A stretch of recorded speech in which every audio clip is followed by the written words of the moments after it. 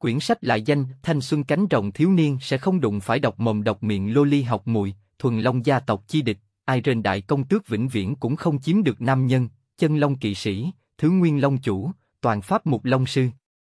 Vượt qua xuyên qua cục sát nhiệm vụ lâm dực ngoài ý muốn đi vào toàn chức pháp sư thế giới, tại cái này nguy cơ trùng trùng trong thế giới, cho dù lâm dực có biết nội dung vở kịch, nhưng hắn đối mặt là một cái chân thật thế giới. Hắc giáo đình thật sự là hắc ám cuối cùng sao? Thế cục giữa nhân loại và yêu ma là đi về hướng diệt vong, hay là sức mạnh của quỷ dữ là gì? Các thiên sứ giấu điều gì trong thành thánh? Bánh răng vận mệnh đã sớm kết hợp cùng một chỗ, Lâm Dực theo đuổi lực lượng, đáp lại hắn lại là cổ long được coi là tai nạn trong quái săn, thiên tuệ long được xưng là ngân dực hung tinh, đã từng là vua của Pháp Hoàng, Long Vương Platon Sans. Đang nữ chủ Linh Linh, hậu kỳ sẽ không thêm cái khác nữ chủ, Linh Linh chân ái phan. Tiểu thuyết mấu chốt Toàn chức Pháp Sư Chi Ngự Thiên Long Đế không đạn cửa sổ, toàn chức Pháp Sư Chi Ngự Thiên Long Đế TXT toàn tập đao loạt, toàn chức Pháp Sư Chi Ngự Thiên Long Đế chương mới nhất đọc. Chương 1 Thần Bí Trứng Bạn đang nghe tại truyện chấm audio. Chương 1 Quả trứng bí ẩn từ ngày đó chuẩn bị ngồi tàu điện ngầm, sau khi bị tàu điện ngầm đâm chết đi tới thế giới này đã 16 năm, không nghĩ tới lại bắt kịp chuyến xe cuối cùng xuyên qua. Một thanh niên mặc áo liền quần màu xám thở dài với ánh trăng. Lâm Dực, ngươi đã trở lại a? À? Một bà lão hòa ái từ ban công nhà mình nói với Lâm Dực phía dưới. Bà Khâu, buổi tối tốt lành. Đây, cái này cho ngươi. Bà cụ từ ban công bỏ lại một cái túi, Lâm Dực thuần thục tiếp được liền hướng Khâu phu nhân nói cảm ơn. Cảm ơn bà, bà Khâu, cháu về trước đây. Trong cái túi kia là bánh bao nóng hổi, mỗi đêm, khi Lâm Dực từ con đường nhỏ này về nhà, bà Khâu đều cho cậu một ít bánh bao. Bà Khâu ở trên ban công nhìn Lâm Dực dần dần đi xa, trong lòng không nhịn được nghĩ. Lâm Dực tiểu gia hỏa này, tuổi còn nhỏ, liền mỗi ngày muộn như vậy mới trở về, thật sự là vất vả a. Sau khi Lâm Dực đi ra khỏi tầm mắt Khâu phu nhân, lại quẹo mấy khúc cua, rốt cục đi tới một nơi tương đối hẻo lánh. Có một gian thoạt nhìn tương đối cũ kỹ phòng nhỏ xuất hiện ở Lâm Dực trước mắt, tuy rằng nhìn qua tràn đầy năm tháng dấu vết, nhưng là ngũ tạng đầy đủ. Ở nhiều năm như vậy, Lâm Dực sớm đem những kia nên bổ địa phương bổ hảo, nên đổi địa phương, cũng chính mình giải quyết. Dùng chìa khóa mở cửa phòng, dựa vào trí nhớ sờ soạn mở đèn trong phòng, một chiếc đèn chùm sáng lên ánh vàng nhu hòa, tạm thời xua tan bóng tối chiếm cứ trong phòng nhỏ. Lâm Dực cởi áo khoác, trở tay treo trên móc sau cửa, lười biếng ngồi trên ghế gỗ cạnh cửa sổ. Không nghĩ tới sẽ đi tới toàn chức pháp sư thế giới a. Thế giới này hệ số nguy hiểm cực cao, tuy rằng hắn biết nội dung vở kịch, nhưng không có nghĩa là hắn biết hết thảy. Thế giới này nhưng là một thế giới chân thật, nhân tố không xác định quá nhiều.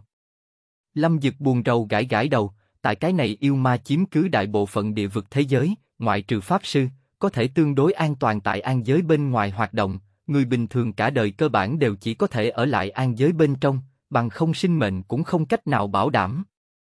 Cho dù trở thành pháp sư, tu vi cao giai tả hữu mới tính là có được lực lượng bảo vệ mình trong toàn bộ thế giới. Nhưng trong thế giới này còn có tổ chức cực kỳ nguy hiểm như Hắc giáo định tồn tại, cho dù ở trong an giới, ngày nào đó không minh bạch đã bị cuốn vào, người liền trực tiếp không còn.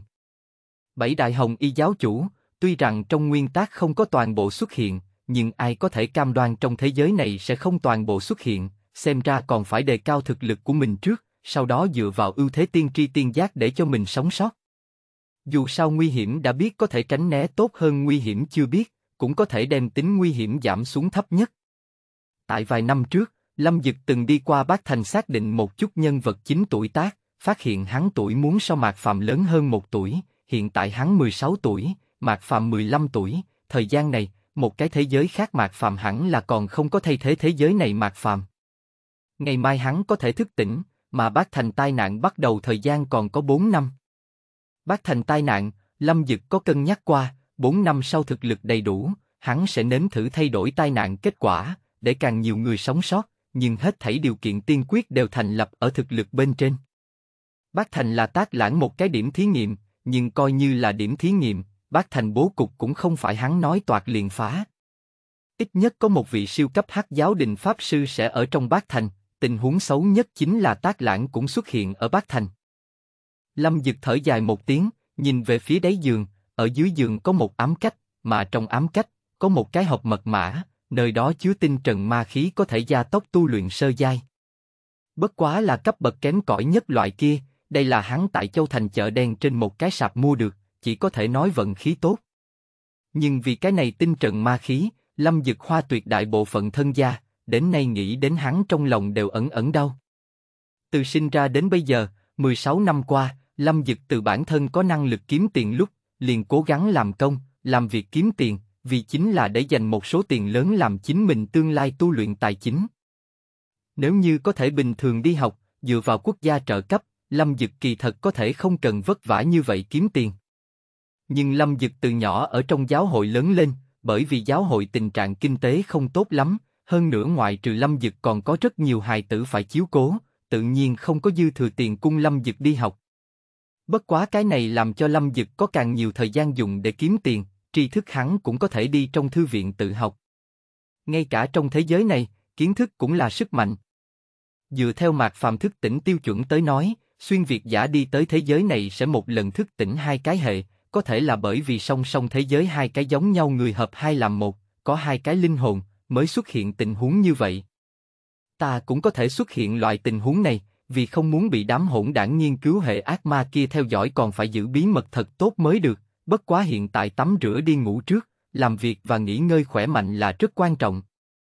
Ngày hôm sau, Lâm Dực sáng sớm liền đi tới Chu Thành Ma Pháp Hiệp hội. Xin chào, tôi là Lâm Dực ngày hôm qua đã hẹn trước thức tỉnh sơ cấp. Nhân viên lễ tân, sau khi nghe xong liền kiểm tra trên máy tính. Lâm tiên sinh, bên này xem xét hẹn trước của ngài, mời cầm giấy chứng nhận thức tỉnh đến phòng thức tỉnh 0203 tiến hành thức tỉnh sơ giai. Cầm thức tỉnh chứng minh, Lâm Dực rất nhanh liền dựa theo chỉ dẫn đi tới thức tỉnh thất, đóng cửa lại, đảo mắt liền nhìn thấy gian phòng ở giữa đài trụ trên thức tỉnh thạch. Làm sao tôi nhớ được nên có người đến hướng dẫn một chút làm sao thức tỉnh, đây là đãi ngộ của 10 v đúc sao? Lâm Dực trong lòng bất đắc dĩ, dựa theo trong trí nhớ phương pháp, đem một tay đặt ở thức tỉnh thạch trên, sau đó nhắm mắt, tập trung tinh thần. Ông ông. Một vòng sáng màu trắng trăng đột nhiên từ trên đá thức tỉnh kích phát ra, ánh sáng màu trắng trăng dần dần sáng ngời.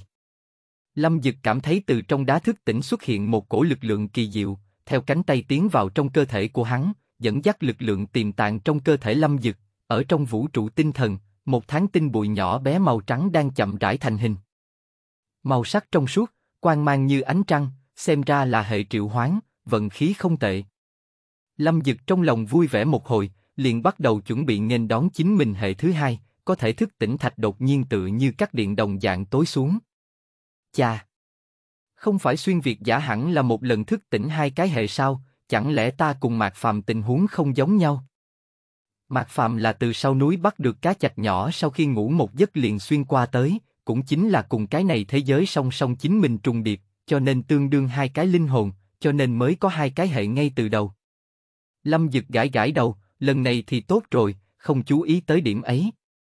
Lâm Dực rất rõ ràng tình huống của mình, hắn là từ trẻ con bắt đầu lớn lên, nghiêm khắc mà nói hắn không phải xuyên qua, mà là chuyển sinh đến cái thế giới song song này, cho nên theo bình thường mà nói một lần thức tỉnh chỉ biết có một hệ. Mang hơi thất vọng tâm tình, Lâm Dực rời đi ma pháp hiệp hội, về tới chỗ ở của mình. Tóm lại là thức tỉnh, hệ triệu hoán ở giai đoạn trước coi như là hệ rất cường lực, mình chỉ cần thành thật tu luyện tới sơ giai cấp thứ ba, sau đó triệu ra một con thú triệu hoán cấp nô bộc, như vậy năng lực tự vệ sẽ có. Nghĩ tới đây, Lâm Dực vẫn là chuẩn bị trước đi xem trong cơ thể tinh trần, dù sao hắn liền muốn có được ma pháp, điều này làm cho Lâm Dực không khỏi có chút nho nhỏ kích động. Nhắm mắt ngưng thần, cảm giác kéo dài đến tinh thần vũ trụ bên trong, Lâm Dực thấy được một cái nhỏ bé nguyệt bạch tinh trần đang chậm rãi xoay tròn lấy. Hả? Cái gì vậy? Ở trong tinh trần màu trắng trăng, có một quả trứng bạc phủ kín hoa văn đỏ thẫm đang lơ lửng trong tinh trần.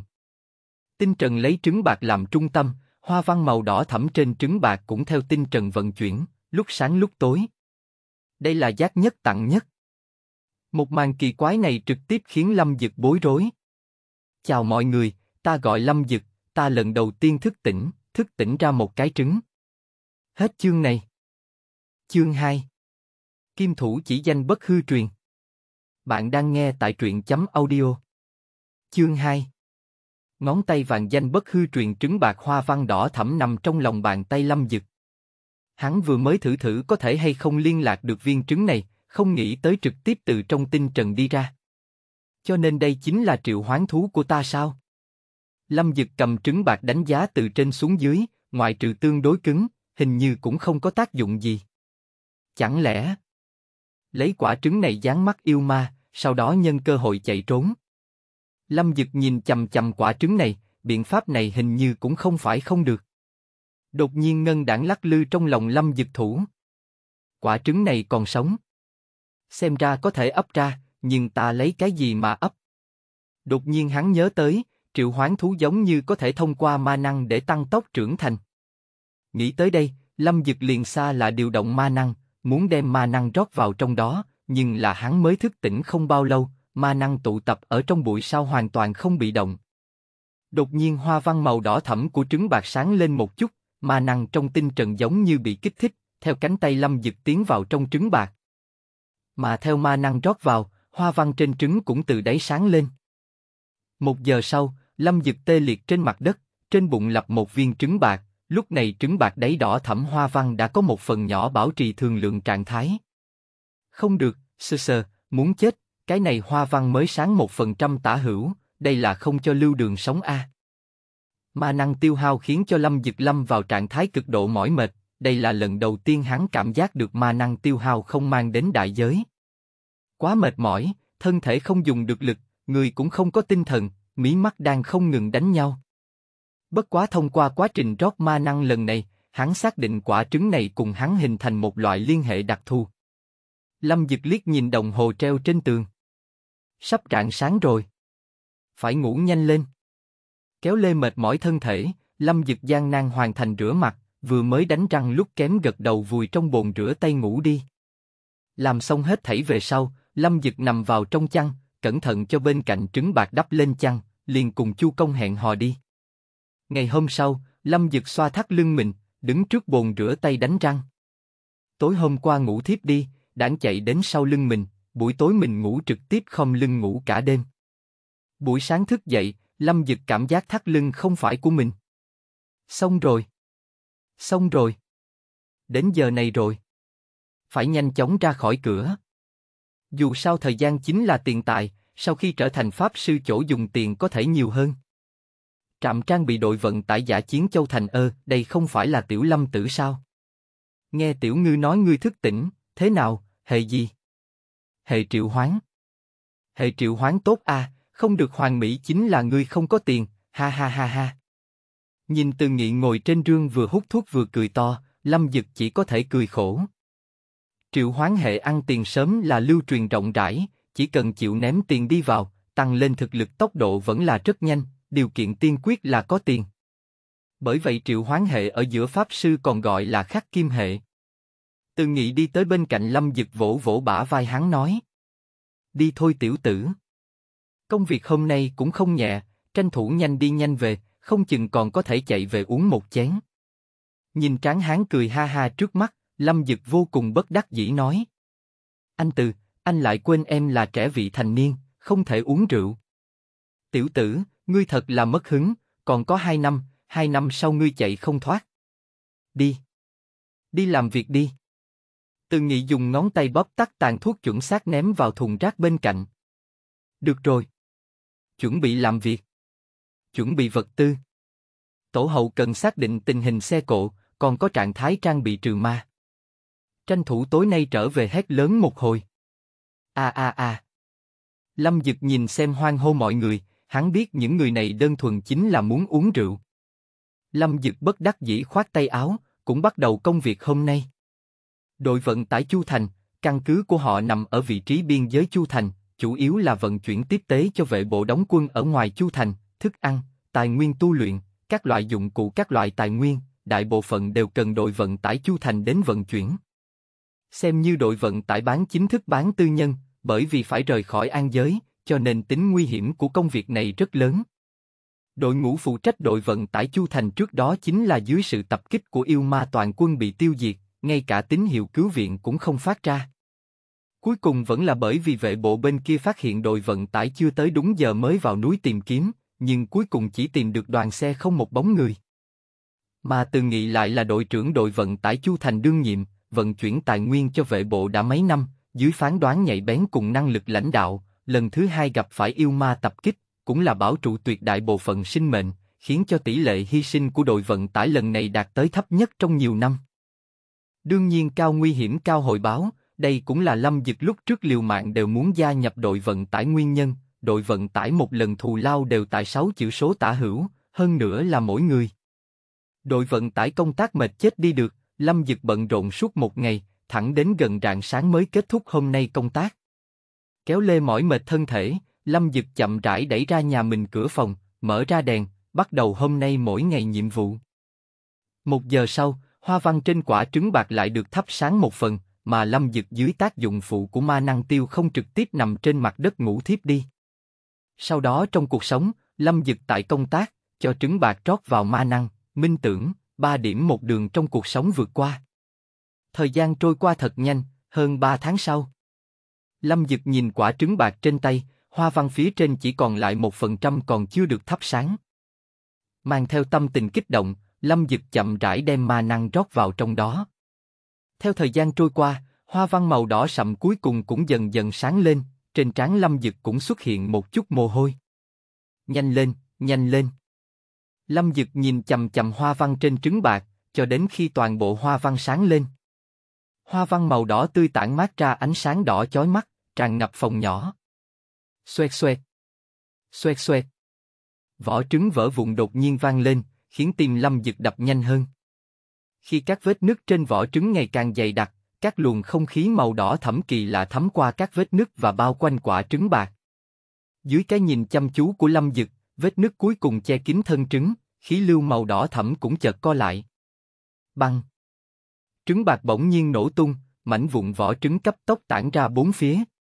Lâm Dực nháy mắt nhảy đến bên cạnh bạn nâng một gốc lên, bảo vệ bản thân. Ngoan nào. Cái này nếu bị đánh tới phỏng chừng ra được chút máu. Lâm Dực nhìn đã trở nên hố hố trũng mặt bạn, không khỏi đau lòng, cái bàn này nhưng là hắn tự tay tạo ra, đều là tâm huyết a. Lúc này Lâm Dực đem ánh mắt ném tới vị trí quả trứng bạc vừa rồi. Một con hình thể tiếp cận mèo con, chỉnh thể hiện ra màu bạc sinh vật xuất hiện ở Lâm Dực trong tầm nhìn. Thân hình hình dọc nước, một đôi thương dực tràn ngập cảm giác khoa học viễn tưởng triển khai hai bên, vảy bạc cực kỳ có tầng lớp lớp cảm giác bao trùm ở bên ngoài cơ thể, con ngươi màu lam đang nhìn về phía Lâm Dực. Đây là... Đây là... Không thể sai được. Tuy rằng hình thể nhỏ đi rất nhiều, nhưng thương dực mang tính biểu tượng kia, chỉ cần nhìn qua một lần, liền tuyệt sẽ không quên. Thiên tuệ long. Lại là thiên tuệ long trong quái săn. Hắn biết rõ thế giới này căn bản không thể xuất hiện loại sinh vật như thiên tuệ long, đây chính là cổ long chủng trong trò chơi. Nhưng hiện tại một con thiên tuệ long còn sống xuất hiện trước mặt mình, trong lòng Lâm Dực vô cùng kích động. Đây tuyệt đối là ngón tay vàng của mình, quả nhiên. Làm người xuyên Việt tiêu chuẩn trang bị vĩnh viễn không vắng mặt. Ngay khi Lâm Dực trầm mê trong thời gian ảo tưởng, Tiểu Thiên Tuệ Long nhìn hoàn cảnh xung quanh mới lạ, sau đó dùng đôi mắt xanh ngây thơ chất phát nhìn về phía Lâm Dực. Đôi cánh kỳ dị của Tiểu Thiên Tuệ Long ở sau lưng chậm rãi triển khai về hai bên, bộ phận ngực dần dần sáng lên hào quang màu đỏ thẫm. Không khí trong phòng hướng về ngực Tiểu Thiên Tuệ Long hội tụ, mà theo không khí hấp thu càng ngày càng nhiều, miệng phun cánh cũng hơi sáng lên hào quang màu đỏ thẫm. Ông Năng lượng màu đỏ thẫm từ miệng phun ra, khiến cho Tiểu Thiên Tuệ Long dần dần nổi lên. Tiểu Thiên Tuệ Long tò mò nhìn về phía đôi cánh của mình, nó cũng không biết tại sao mình có thể bay, chỉ là cảm giác có thể làm được, liền theo bản năng mà đến.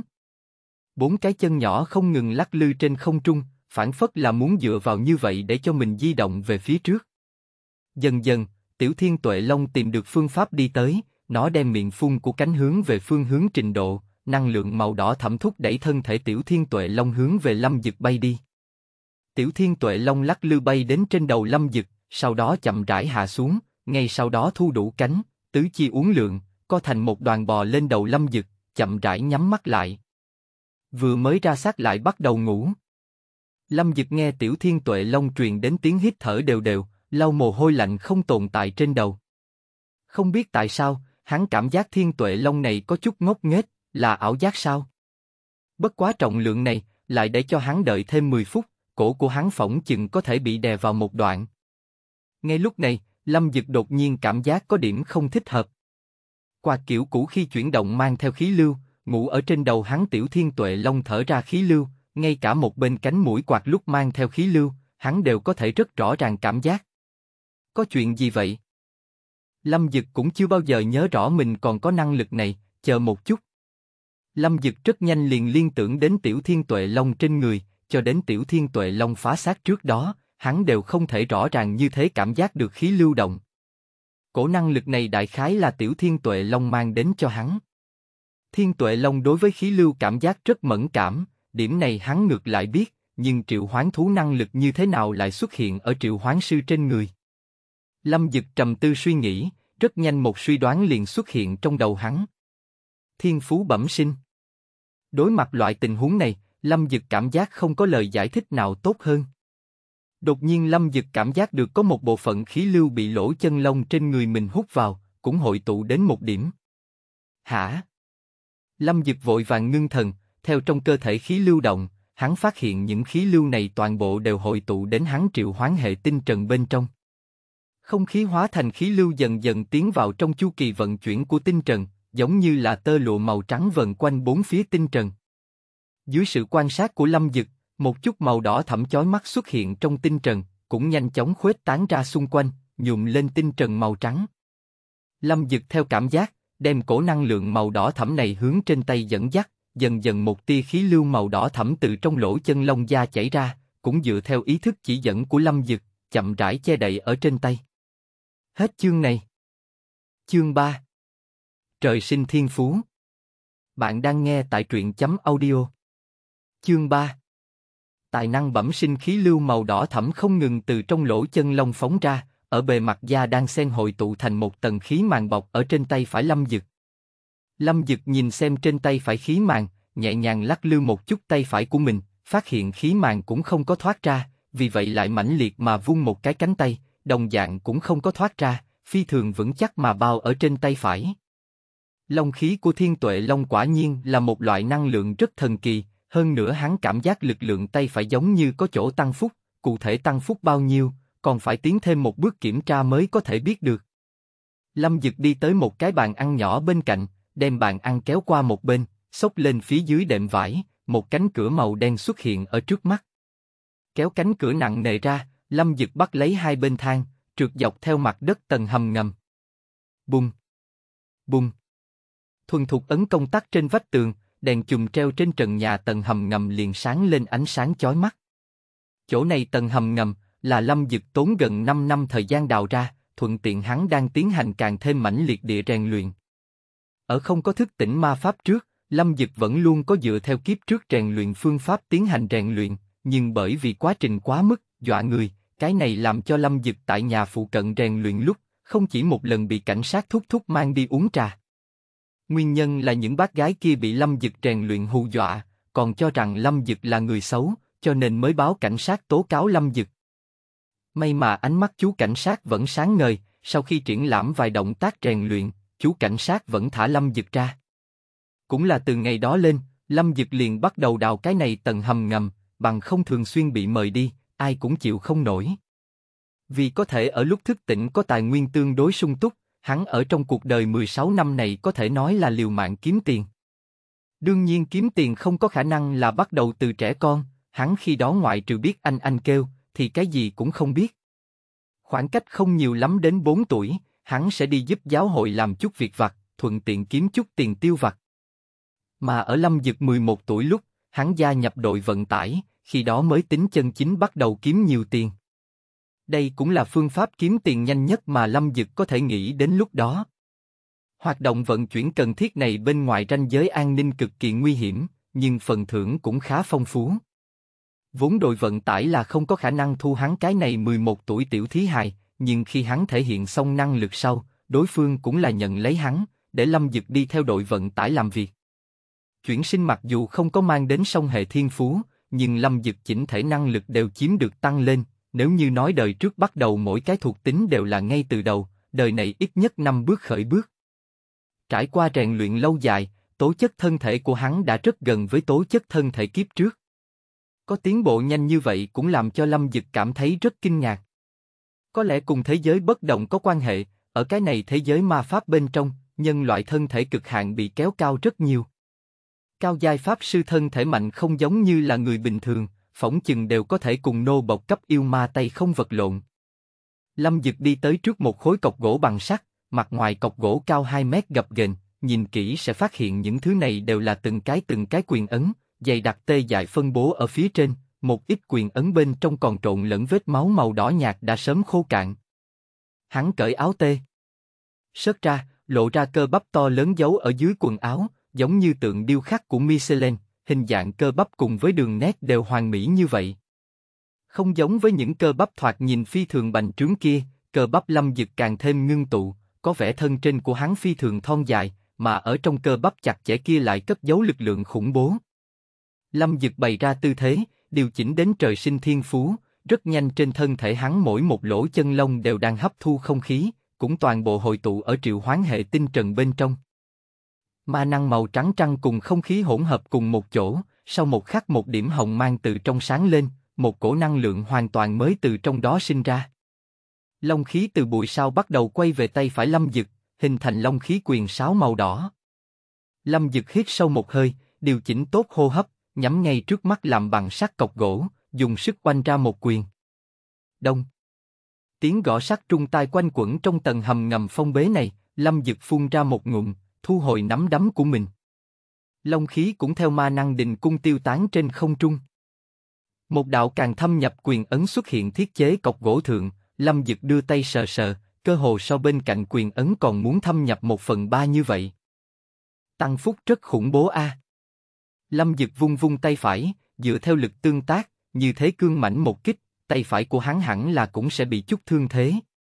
Nhưng tay phải của hắn ngoại trừ đánh trúng chỗ đỏ một chút, cũng không có cảm giác được cái gì rõ ràng đau đớn cảm giác.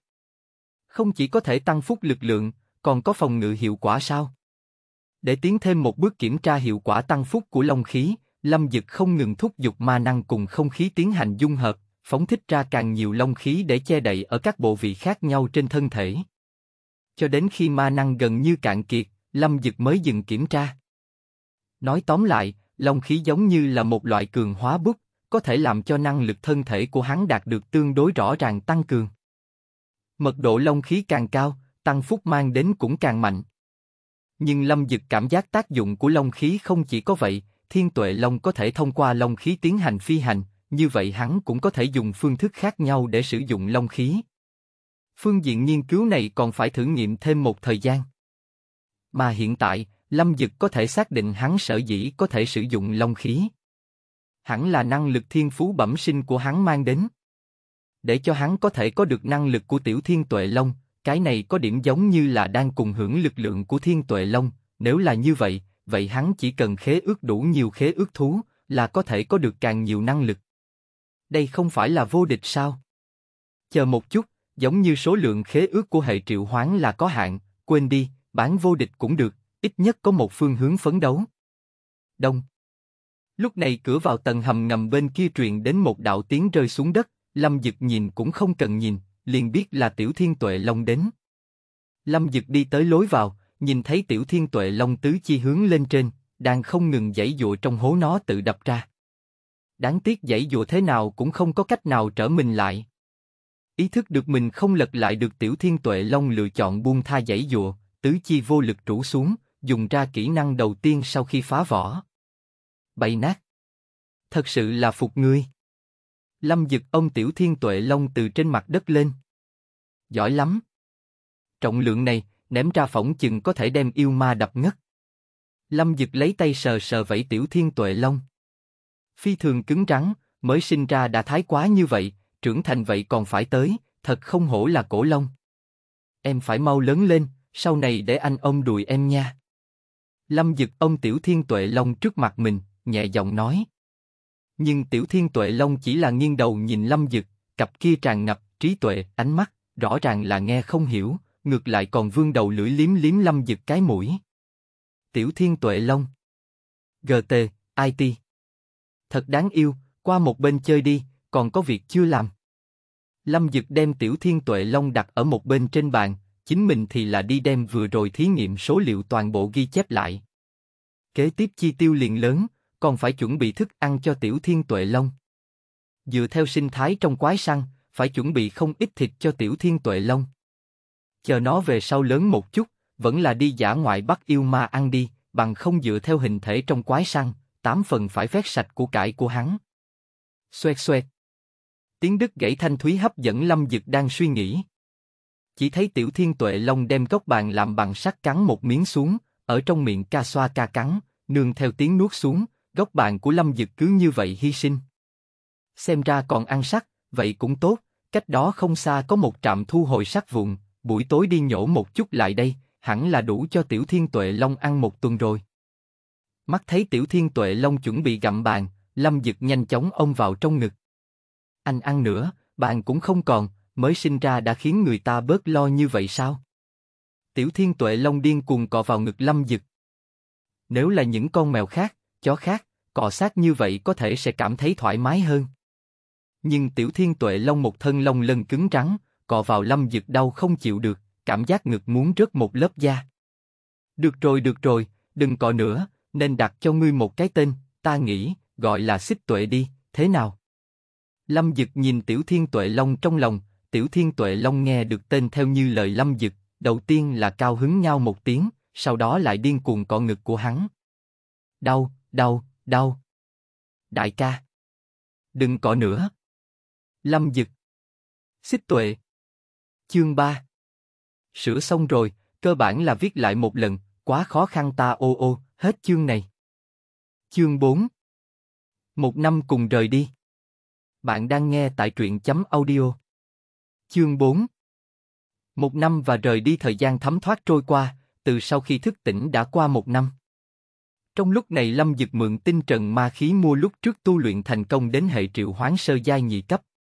Xích tuệ hình thể cũng đã trở nên cùng trưởng thành nhị ha kém không nhiều lắm, lưng cánh chân cũng dài ra, hiện tại thỉnh thoảng đều có thể đâm đến Lâm Dực eo, cho hắn tới một cái bạo kích.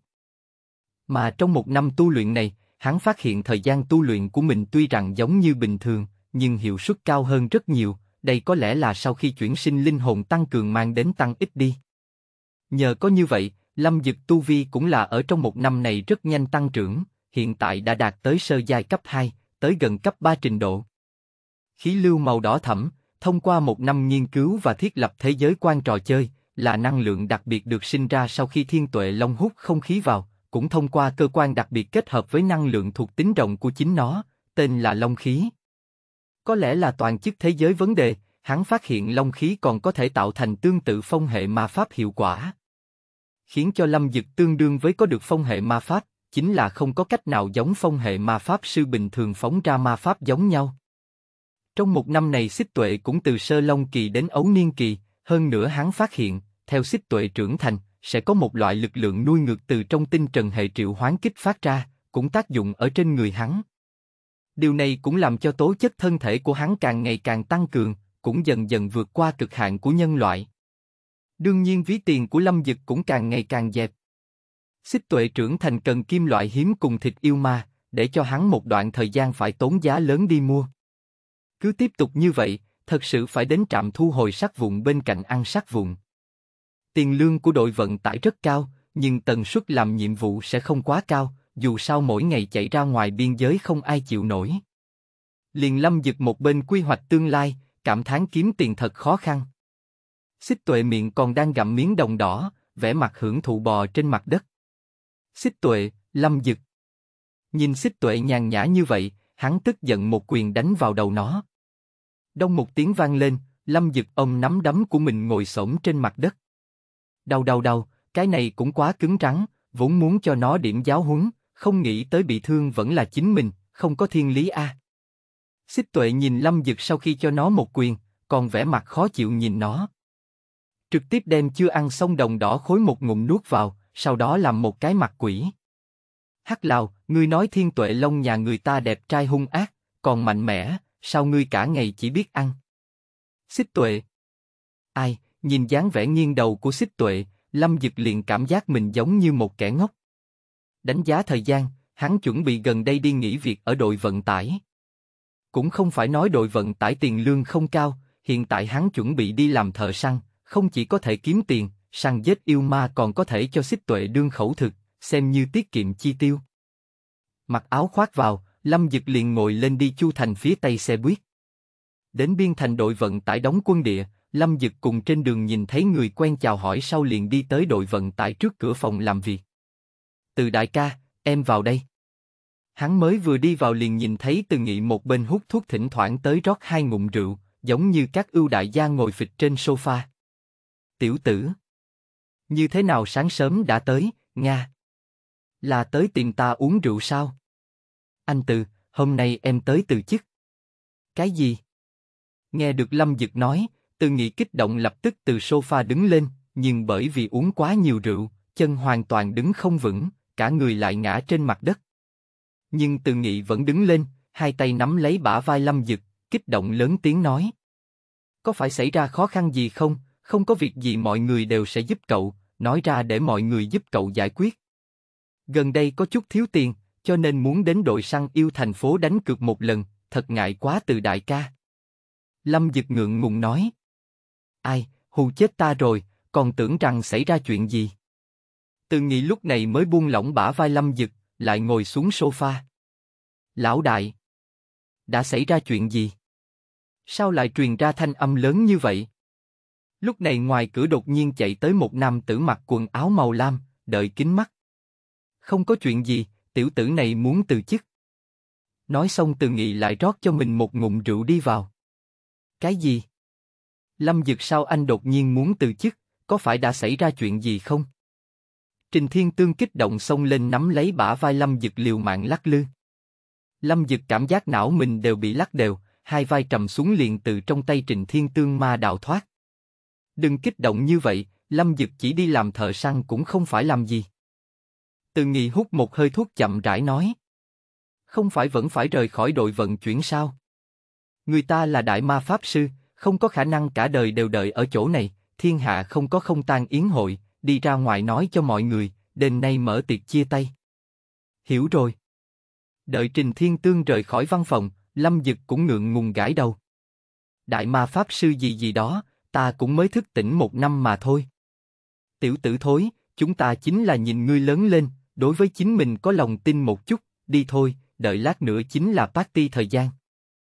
Một lát sau, tại bữa tiệc. Tiểu tử muốn uống cái gì? Từ Nghị đứng ở phía sau quầy ba nói với Lâm Dực. Trà ô long đi. Được rồi. Từ Nghị mang theo giọng điệu mất hứng đáp ứng, liền xoay người đi qua rót trà ô long cho Lâm Dực. Lâm Dực ngồi ở trước quầy ba trên ghế, xoay người nhìn về phía cái này chính mình ngay người sáu năm địa phương, trong lòng cũng là tràn ngập không nở. Trà ô long tới rồi. Từ Nghị đem một ly đồ uống màu nâu đặt ở trước mặt Lâm Dực. Nhưng ngay khi Lâm Dực vừa chuẩn bị cầm lên uống, hắn cảm giác chén trà ô long này có điểm không thích hợp. Từ đại ca, vì sao chén trà ô long này có chút cay mắt? Tiểu tử, là ảo giác của ngươi. Từ đại ca, trà ô long này hình như đang bốc hơi. Là ảo giác của ngươi, mau uống đi, nếu không sẽ không còn. Lâm Dực cầm lấy bật lửa trên quầy ba, nhẹ nhàng điểm trà ô long, một ngọn lửa màu lam liền xuất hiện ở mặt ngoài trà ô long.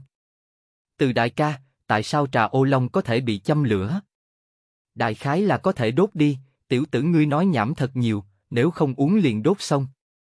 Hơn nữa độ số còn cao thái quá, đều có thể trực tiếp châm lửa, uống vào không được trực tiếp người không có. Xú tiểu tử chỉ có ngươi nhiều việc, các tiểu nhân lên cho ta. Ngày cuối cùng còn không uống một chén, rót hắn cho ta. Từ nghị rót cho mình một ngụm rượu lớn tiếng hô. Những người khác lên tiếng liền hướng Lâm Dực bên này vọt tới. Các huynh đệ lên cho ta. Lão nương nhất định phải nhìn xem Lâm Dực uống say có đỏ mặt hay không. Đến đây đi. Lâm Dực, đây là mạng của ngươi hôm nay. Ở trong đám người, bị vây quanh Lâm Dực cảm giác còn có người sờ một cái mông của hắn. Ai sờ mông của ta, cứu một chút, các ngươi đừng tới đây a. Cứ như vậy một bữa tiệc từ sáng đến hơn 9 giờ tối, trong căn cứ khắp nơi đều là người say rượu. Lâm Dực dựa vào tố chất thân thể, chống đỡ qua trận thí luyện này, thu thập một chút đồ vật mình đặt ở đây liền chuẩn bị rời đi. Khi hắn đi tới cửa lớn, nhìn thấy một đạo thân ảnh quen thuộc đứng ở trước cửa lớn từ đại ca, ta đi đây. Lâm Dực đi tới bên cạnh đạo thân ảnh kia, cùng Từ Nghị chào hỏi như trước, sau đó liền đường kính đi qua bên người Từ Nghị. Nơi này vĩnh viễn đều là nhà của ngươi. Nhớ phải sống. Ta cũng không muốn nhìn thấy ngươi đi ở phía trước ta. Từ Nghị lớn tiếng hướng về phía Lâm Dực rời đi phương hướng hô. Nghe được lời nói quan tâm thiết ý kia của Từ Nghị, để cho bước chân rời đi của hắn không khỏi dừng lại một chút, nhưng Lâm Dực cũng không có dừng bước lại, hắn giơ tay lên cổng người làm một động tác tạm biệt, liền dần dần biến mất ở dưới đường chân trời. Xú tiểu tử. Đến cuối cùng vẫn đẹp trai như vậy. Từ nghị ngẩng đầu nhìn thoáng qua cái kia lấp lánh tinh không, đây là hắn 43 năm qua, lần đầu tiên buổi tối không có triệt để uống say, có lẽ cũng là một lần cuối cùng. Sau khi nhìn Lâm Dực rời đi, Từ Nghị liền xoay người đi vào căn cứ. Từ nghĩ biết ngày này sớm muộn gì cũng sẽ đến, chỉ là không nghĩ tới buổi tối ngày này mắt sẽ dính chút cát, dụi mắt đều có chút đỏ. Hết chương này. Chương 5 Thành thị đội săn yêu Bạn đang nghe tại truyện chấm audio. Chương 5 Thành thị săn yêu đội từ đội vận tải từ chức sau ngày hôm sau, Lâm Dực liền tới Châu Thành thợ săn hiệp hội. Hắn hiện tại tu vi chỉ có sơ giai, lần đầu tiến hành thợ săn hoạt động tốt nhất là tổ chức thành đoàn sẽ tốt một chút, nhưng đây là đối với sơ giai gà mờ mà nói. Có xích tuệ này chỉ cổ long ở bên người cùng với quá khứ kinh nghiệm, đủ để cho Lâm Dực tại lần đầu thợ săn hành động lúc liền có thể một người hành động, đương nhiên hắn cũng sẽ từ đơn giản ủy thác bắt đầu, dù sao kinh nghiệm quy kinh nghiệm, thực tiễn mới là kiểm nghiệm chân lý duy nhất tiêu chuẩn. Xin chào, ta muốn xin một chút thợ săn tư cách chứng nhận. Lâm Dực đi vào đại sảnh chỗ làm việc, đối với ngồi ở phía sau lễ tân tiểu thư nói. Ngồi ở phía sau quầy lễ tân tiểu tỷ tỷ đang nhàm chán xoay bút, đột nhiên nghe được một đạo thanh âm tràn ngập từ tính, theo thanh âm nhìn lại, một vị nam tử tóc đen thân cao chừng một mét tám, mày kiếm mắt tinh đang nhìn nàng. Cô nhanh chóng sửa sang lại dáng vẻ của mình một chút, sau đó dùng giọng điệu chuyên nghiệp ôn nhu nói. Được, mời anh điền đầy đủ tư liệu, xét duyệt thông qua là có thể đạt được thẻ thợ săn dự bị. Lâm Dực cầm bút dựa theo yêu cầu trên bản điện tư liệu của mình, quá trình điền rất thuận lợi, chính là ánh mắt nhiệt tình của tiểu thư lễ tân khiến hắn có chút chịu không nổi. Điền xong bản, Lâm Dực giao cho đối phương. Đợi đại khái 5 phút sau, nhân viên lễ tân liền cầm một huy chương cùng với một tấm giấy chứng nhận tư cách trở về. Đây là chuẩn bị thợ săn tư cách chứng nhận cùng với chuẩn bị thợ săn huy chương, khi điểm tích lũy đến đầy đủ trình độ lúc, có thể đi tới thợ săn hiệp hội đề cao thợ săn đẳng cấp, chúc ngươi võ vận xương long. Cảm ơn. Không có chút do dự, Lâm Dực giống như chạy trốn nhanh chóng rời khỏi quầy lễ tân hướng nhiệm vụ ủy thác lan can đi đến. Ánh mắt kia quá nhiệt tình, nếu thái độ phục vụ đơn thuần nhiệt tình thì thôi, nếu bao hàm chút nhân tố khác, vậy thì không ổn. Lớp Hunter được chia thành 6 lớp. Preparator Hunter, Junior Hunter, Middle Hunter, Advanced Hunter, Elite Hunter, Hunter Master, 1 đến 7 sao, và King Hunter. Thợ săn dự bị đến thợ săn sơ cấp cần hoàn thành 3 nhiệm vụ cấp E, liền có thể thăng cấp đến thợ săn sơ cấp. Người mới trong quá trình này bình thường sẽ lựa chọn tổ đội để vượt qua thời kỳ gà mơ. Có một tay lão luyện dẫn đội, đối với tay mơ mà nói, là một lựa chọn tốt để đề cao cuộc sống của mình. Nhưng Lâm Dực ngay từ đầu đã chuẩn bị làm một mình, có con ấu long xích tuệ này mạnh hơn nhiều so với những pháp sư sơ giai kia. Huống hồ trước khi hắn đến đó, hắn cũng không có ý định bại lộ sự tồn tại của xích tuệ. Sau khi lựa chọn một nhiệm vụ cấp E thích hợp, Lâm Dực rời khỏi hiệp hội thợ săn, trở về chuẩn bị vật phẩm cần thiết cho lần đầu tiên thợ săn ủy thác. Tuy rằng hắn kiếp trước kinh nghiệm phong phú, nhưng yêu ma loại sinh vật này hắn còn không có chính diện đối mặt qua, phải cẩn thận vi thượng, lật xe người sẽ không có. Nhiệm vụ cấp E lần này là do Hiệp hội Bảo vệ Môi trường Châu Thành công bố. Hai ngày trước, lúc công nhân quét dọn đường cái vào buổi tối, nghe được một ít âm thanh kỳ quái từ dưới cống thoát nước truyền đến, trong đó một công nhân lá gan tương đối lớn đi xuống kiểm tra, phát hiện một đoạn xương giống như nhân loại. Phát hiện này rất nhanh đã được báo lên Hiệp hội Bảo vệ Môi trường, sau khi suy nghĩ cặn kẽ, Hiệp hội Bảo vệ Môi trường cuối cùng công bố ủy thác ở Hiệp hội Thợ Săn, hy vọng có thợ săn có thể giải quyết. Căn cứ vào thông tin tình báo cơ bản do ủy thác cung cấp, trên xương hiện tại phát hiện có vết cắn rõ ràng. Lúc này Lâm Dực đang dùng máy tính kiểm tra ảnh chụp xương cốt. Rất nhanh hắn liền phán đoán ra khối xương này là thuộc về bắp chân cốt, hơn nữa là nữ tính xương cốt, vết cắn rất lớn, cơ hồ trải rộng cả khối xương cốt, rất rõ ràng là yêu ma làm. Yêu ma trong cống thoát nước, không hồ chỉ có vài loại yêu ma, đại khái là cự nhãn tinh thử sao. Lâm Dực cắn nắp bút, vừa cắn vừa nhìn ảnh chụp trên xương còn có manh mối gì khác không? Xương cốt thượng còn có chút tơ máu, tử vong thời gian hẳn là sẽ không rất dài, phát hiện địa điểm tại Thanh Hoa đường phố, nhìn xem gần đây cái kia phụ cận có hay không mất tích nhân viên. Nghĩ tới đây, Lâm Dực bắt đầu xem xét Chu Thành cục cảnh sát tuyên bố mất tích nhân viên danh sách.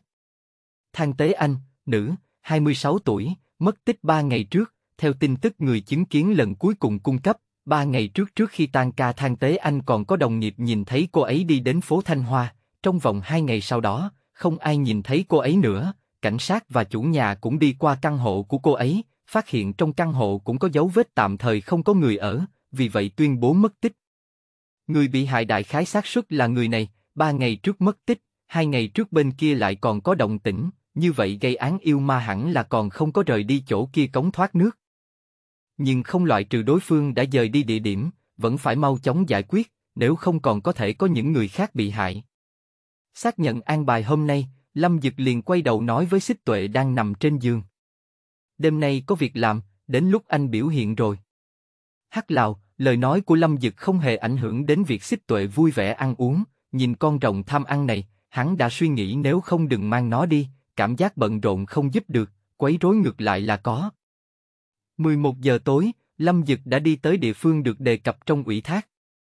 Một đường dây cảnh giới dễ thấy bao quanh lối xuống nước, phòng ngừa có người đi nhầm vào trong đó. Lâm Dực lần nữa kiểm tra trang bị trên người đều mang đủ, liền đóng toàn bộ sản phẩm điện tử trên người lại. Yêu ma đối với điện tử sản phẩm tín hiệu đều đặc biệt mẫn cảm, tuy rằng hắn không biết là nguyên lý gì, nhưng vì không cho mình giống như trong đêm tối đom đóm đồng dạng, đóng cửa điện tử sản phẩm mới có thể tránh cho bại lộ tự thân vị trí. Lâm Dực cẩn thận dời nắp giếng, tránh phát ra âm thanh quá lớn, từ đó quấy nhiễu đến yêu ma gây án. Theo thang cống thoát nước trượt xuống, Lâm Dực nhẹ giọng bước trên mặt đất cống thoát nước. Mượn mặt trên bắn xuống ánh trăng, Lâm Dực quan sát hoàn cảnh chung quanh, phát hiện chỗ này cống thoát nước không gian rất lớn, ở giữa là dùng nước bẩn chảy qua, hai bên cao một chút bình đài thuận tiện kiểm tra nhân viên thông qua bình đài đến kiểm tra cống thoát nước phương tiện. Nhưng con đường phía trước quá tối, nếu như không bật đèn pin, ở địa phương đưa tay không thấy năm ngón này căn bản không có cách nào đi về phía trước. Càng miễn bàn tìm yêu ma, không bị đánh lén cắn một miếng cũng coi như tốt rồi. Có thể dùng đèn pin chiếu sáng cũng sẽ bại lộ vị trí của mình, phiền phức nha. Quên đi, mở treo đi. Lâm Dực nhắm hai mắt lại, tinh trần hệ triệu hoán trong cơ thể bắt đầu xoay tròn nhanh hơn. Sau một khắc, hắn mở to hai mắt, hơi hơi tỏa sáng long đồng hư ảnh xuất hiện ở trong mắt, mà nguyên bản đen kịt hoàn cảnh ở trong tầm mắt của hắn cũng trở nên sáng ngời lên. Trong một năm tu luyện này, Lâm Dực phát hiện thiên phú trời sinh của mình giống như có thể theo tu vi tăng lên mà tăng cường, điều này làm cho hắn bắt đầu có được càng nhiều năng lực. Thiên tuệ long có thị lực động thái rất mạnh, hơn nữa còn có hiệu quả nhìn ban đêm phi thường xuất sắc, điều này làm cho thiên tuệ long ở trong bóng tối cũng có thể chính xác săn giết được con mồi. Thông qua thiên phú trời sinh, hắn có thể tạm thời có được năng lực nhìn đêm của thiên tuệ long, đương nhiên tiêu chuẩn này là dựa theo khuôn mẫu của xích tuệ mà tới. Sau đó Lâm Dực từ trong hầu bao lấy ra một cái túi vải nhỏ, cũng từ trong đó lấy ra một nắm bột phấn tán ở trên bình đài cống thoát nước. Những loại bột này ở trong cống thoát nước ẩm ướt rất nhanh liền dính vào một số đặc điểm địa phương, sau đó liền phát ra ánh sáng huỳnh quang. Lâm Dực tán ra bột phấn chính là một trong những vật phẩm thiết yếu của thợ săn, bột tầm yêu. Loại bột phấn này có thể bị khí tức yêu ma lưu lại hấp dẫn, từ đó dính chặt vào mặt trên, từ đó hiện ra dấu vết yêu ma lưu lại. Dưới tác dụng của phấn tìm yêu, trên bình đài cống thoát nước liền xuất hiện mấy cái khá lớn, giống như dấu chân loài chuột. Lâm Dực ngồi sổng xuống cẩn thận quan sát những dấu chân này. Hình dạng và kích thước này có thể xác định là của cự nhãn tinh thử, hơn nữa những dấu chân này rõ ràng là do ba con cự nhãn tinh thử lưu lại. Hơn nữa phương hướng phân bố dấu chân kéo dài về phía cống thoát nước sâu hơn. Lâm Dực đứng lên nhìn về phía cái kia càng sâu trong hắc ám, cẩn thận suy nghĩ một chút cự nhãn tinh thử chiến lực, lại so sánh một chút chính mình bên này chiến lực. Xác định cái này ủy thác hay là có thể tiếp tục tiến hành sau, Lâm Dực liền theo những dấu vết này truy tung cự nhãn tinh thử. Sau khi đi bộ không quá 5 phút trong cống thoát nước bốc mùi hôi thối, hắn đột nhiên ngửi thấy một mùi hôi thối càng thêm kỳ quái. Lâm Dực tĩnh tâm cảm thụ khí lưu trong không khí, rất nhanh liền cảm giác được ba đạo khí lưu càng thêm thô kệch. Xem ra đã đến gần cự nhãn tinh thử rồi. Hơn nữa căn cứ vào tin tức khí lưu mang đến, đối phương hiện tại dừng lại ở chỗ rẽ kế tiếp. Quả nhiên, tại Lâm Dực đi về phía trước lại đi một đoạn khoảng cách về sau, hắn từ gốc rễ chỗ quan sát đến hai con cự nhãn tanh chuột đang ước chừng 3 mét địa phương. Lâm Dực từ trên đai lưng lấy xuống trước đó chuẩn bị tốt hai thanh tiểu đao, hơn nữa cầm ở trong tay. Bên kia hắn cũng đem sáu viên tinh tử màu trắng liên kết tốt, khi viên tinh tử cuối cùng liên tiếp lên, đó là thời khắc hắn phát động tập kích. Rốt cục muốn cùng yêu ma giao thủ, thật sự là có điểm làm người ta nhiệt huyết sôi trào a. Chương 5 Đã sửa xong, thật mệt mỏi, hết chương này. Chương 6 Lần đầu chiến đấu Bạn đang nghe tại truyện chấm audio. Chương 6 Lần đầu chiến đấu hít sâu một hơi, Lâm Dực bước nhanh từ gốc trẻ nhảy ra, đồng thời đem tay phải kẹp hai thanh phi đao ném ra. Trên con dao nhỏ màu đen phủ một tầng long khí màu đỏ, trong cống thoát nước tối đen này có vẻ đặc biệt nổi bật. Có long khí gia trì, tiểu đao phi hành tốc độ cực nhanh, tự như một đạo tia chớp bay về phía cự nhãn tinh thử. Hai con cự nhãn tinh thử sau khi nghe được động tĩnh cũng nhanh chóng xoay người lại. Thật trùng hợp chính là, cự nhãn tinh thử xoay người lại, cặp mắt to như đèn đỏ kia vừa vặn ở quỷ tích long khí phi đao. Trong phút chốc, máu tươi văng khắp nơi, hai con chuột tanh mắt lớn đều phát ra tiếng kêu trên thống khổ. Tay ngắn bất lực chỉ có thể vung lung tung, cố gắng ngăn cản địch nhân không biết tới gần. Mà vào giờ phút này một đạo ánh sáng màu trắng trăng bỗng nhiên lóng lánh, bảy viên tinh tử liên thành tinh quỷ đem dị thế không gian phân khai. Vèo. Tàn ảnh màu bạc từ trong đó bay ra, trong nháy mắt vượt qua khoảng cách 50 mét, thẳng tắp đụng vào trên người con chuột tinh mắt khổng lồ bên phải. Lực trùng kích cực lớn làm cho thân thể cự nhãn tinh thử trong nháy mắt biến thành hình cung, máu tươi từ trong miệng nó không ngừng phun ra, như giọt mưa rơi xuống bốn phía. Đông. Con chuột tinh mắt khổng lồ bị xích tuệ mang theo trực tiếp đụng vào tường phía sau, bụng vốn lõm xuống vào giờ phút này hoàn toàn bị đè bẹp, theo đó thân thể bị đánh gãy thành hai đoạn. Lâm Dực mặc dù không có xích tuệ nhanh như vậy, nhưng 50 mét khoảng cách lấy hắn cái này bị cường hóa qua thân thể tố chất. Hơn nữa long khí tăng phúc, cũng là trong vòng 4 giây đi tới một cái khác cự nhãn tinh thử trước mặt. Cự nhãn tinh thử là một loại yêu ma tầng dưới chót nhất trong thế giới yêu ma, không chỉ có tính cách nhát gan, thực lực kém đến thuần thục lão sơ giai pháp sư đều có thể một mình đánh chết. Đương nhiên vẫn phải xem thực lực của cự nhãn tinh thử tới trình độ nào, cự nhãn tinh thử tiến giai cấp nô bộc vẫn phải tổ chức thành đoàn thảo phạt. Trong cùng giai, nhân loại rất khó có thể một mình đánh chết yêu ma.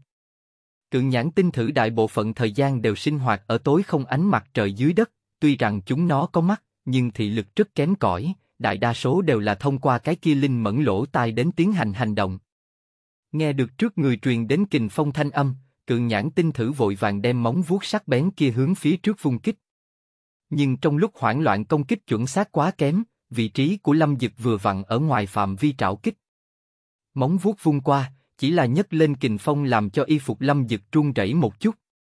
Khi cự nhãn tinh chuột chân phải bởi vì quán tính quăng đến chính mình vai trái lúc, Lâm Dực nhanh chóng rút ra một thanh đao đến, bao trùm lấy long khí, cắm vào chân phải cùng với hắn vai trái đinh cùng một chỗ.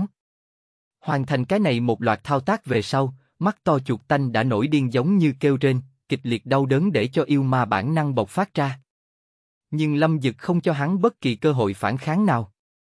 Lấy chân trái làm trục, như kim đồng hồ, chân phải bám vào long khí sau khi xoay tròn một vòng, mang theo lực lượng nặng nề một kích đá vào đầu cự nhãn tinh thử. Lực lượng bùng nổ trong nháy mắt khiến đầu cự nhãn tinh thử nổ tung như pháo hoa. Hoa não trộn lẫn với não bắn tung tóe. Thi thể không đầu mất đi đầu vô lực lắc lư vài cái rồi ngã xuống đất, dần dần mất đi nhiệt độ. Ngay tại Lâm Dực vừa mới thu chân thời điểm, một đạo màu đỏ laser từ sau lưng hắn trong bóng tối bắn ra. Bắn về phía hắn. Nhưng Lâm Dực giống như tiên tri, tay trái đã đặt ở lưng, lòng khí mãnh liệt không ngừng phóng ra, hình thành một cái long khí hộ thuẫn xoay tròn. Tia laser bắn trúng long toàn hộ thuẫn, hai người giằng co lẫn nhau, long khí xoay tròn không ngừng làm suy yếu uy lực của tia laser, cho đến khi biến mất, cũng không thể đánh vỡ hộ thuẫn. Mà ngay tại laser biến mất một sát na, một đạo hồng quang từ lâm dực trên tay phải bay ra, bắn về phía hồng quang phát ra vị trí. Nương theo tiếng chuột kêu thống khổ cùng với tiếng vật nặng rơi xuống, lâm dực đi nhanh đến trước người con chuột tanh mắt to thứ ba. Khi hắn chuẩn bị hạ tử thủ lúc, mới phát hiện này chỉ hình thể nhỏ nhất cường nhãn tinh thử đã không có dấu hiệu sinh mệnh. Đầu nó xuất hiện một lỗ máu to bằng nắm tay, xuyên qua đầu nó. Lâm Dực đi qua thi thể chuột tanh mắt to, từ trên tường phía sau nhổ xuống một vảy rồng màu bạc. Không nghĩ tới long khí thêm long lân uy lực sẽ lớn như vậy, trực tiếp cho cự nhãn tinh thử đầu đến thấu tâm lạnh. Miếng long lân này là lúc trước xích tuệ tự nhiên rơi xuống, tuân theo tinh thần bảo vệ môi trường tốt đẹp không lãng phí, Lâm Dực đem những thứ này rơi xuống lông lân toàn bộ thu thập lại, cũng làm kiểm tra đo lường. Phát hiện những vảy rồng này độ cứng kinh người, nhất là sau khi rót vào lông khí, có thể thoải mái xuyên qua thép tấm. Sau khi phát hiện ra đặc tính này, Lâm Dực hận không thể nhổ lên người xích tuệ. Đáng tiếc, cứng trắng nhổ không được, chỉ có thể chờ xích tuệ tự mình rớt vảy rồng. Sau khi thu hồi vảy rồng về hầu bao, Lâm Dực quay đầu đi về. Trước mắt hắn cùng xích tuệ giải quyết ba con chuột tanh mắt lớn, vừa vặn phù hợp với tin tức phát hiện dấu chân lúc trước. Con chuột mắt to vừa mới được giải quyết kia, đại khái là con của hai con chuột mắt to khác. Cho nên đây xem như diệt môn sao. Bất quá thực lực của ba con cự nhãn tinh thử này thật là yếu a. Cứ như vậy dễ dàng bị sơ giai pháp sư giải quyết, không hổ là nỗi nhục của yêu ma. Đúng rồi. Xích tuệ đâu? Vừa rồi còn nhìn thấy nó xông về phía một con chuột tanh khổng lồ. Ngay khi Lâm Dực ông tâm tư nghi hoặc trở về nơi vừa mới chiến đấu, hắn mới phát hiện nửa người xích tuệ đều khảm ở trong vách tường. Hai chân sau bất lực kia ở giữa không trung càng không ngừng lắc lư, ý đồ từ trong tường đi ra, nhưng đông đưa một hồi liền buông tha dãy dụa, giống như bầy nát rũ xuống. Thấy một màn như vậy, hắn đã không biết nên nói cái gì. Thông qua con chuột tanh mắt lớn ngã xuống phía dưới xích tuệ gãy thành hai đoạn, Lâm Dực đại khái đoán được xích tuệ là sau khi đâm chết, tốc độ không giảm, chính mình trực tiếp đụng vào trong tường. Không có biện pháp, hắn chỉ có thể đi tới phía sau xích tuệ, cầm lấy cái đuôi thon dài của nó, dùng sức kéo về phía sau. Sau khi mất chín trâu hai hổ, xích tuệ rốt cục từ trong tường bị rút ra, sau đó nặng nề ngã xuống đất, đem bình đại ép ra một cái hố nông. Xong rồi. Nhiệm vụ này làm xong còn phải bồi thường tiền. Nhìn trên vách tường lỗ lớn, Lâm Dực đã suy nghĩ thợ săn hiệp hội bên kia có hay không phương diện này bảo hiểm. Đúng lúc này, hắn đột nhiên nhìn thấy một khúc xương, trên khúc xương trắng này khắp nơi đều là vết cắn, nhưng có một chỗ vết cắn rõ ràng khác với những chỗ khác. Suy tư một lát, trong lòng Lâm Dực đã có chủ ý. Đi rồi xích tuệ. Đừng nằm trên mặt đất giả chết. Dùng chân đá xích tuệ, nó mới không tình nguyện từ trên mặt đất đứng lên. Lâm Dực mang theo xích tuệ đi tới một ngã ba cách nơi chiến đấu vừa rồi không xa.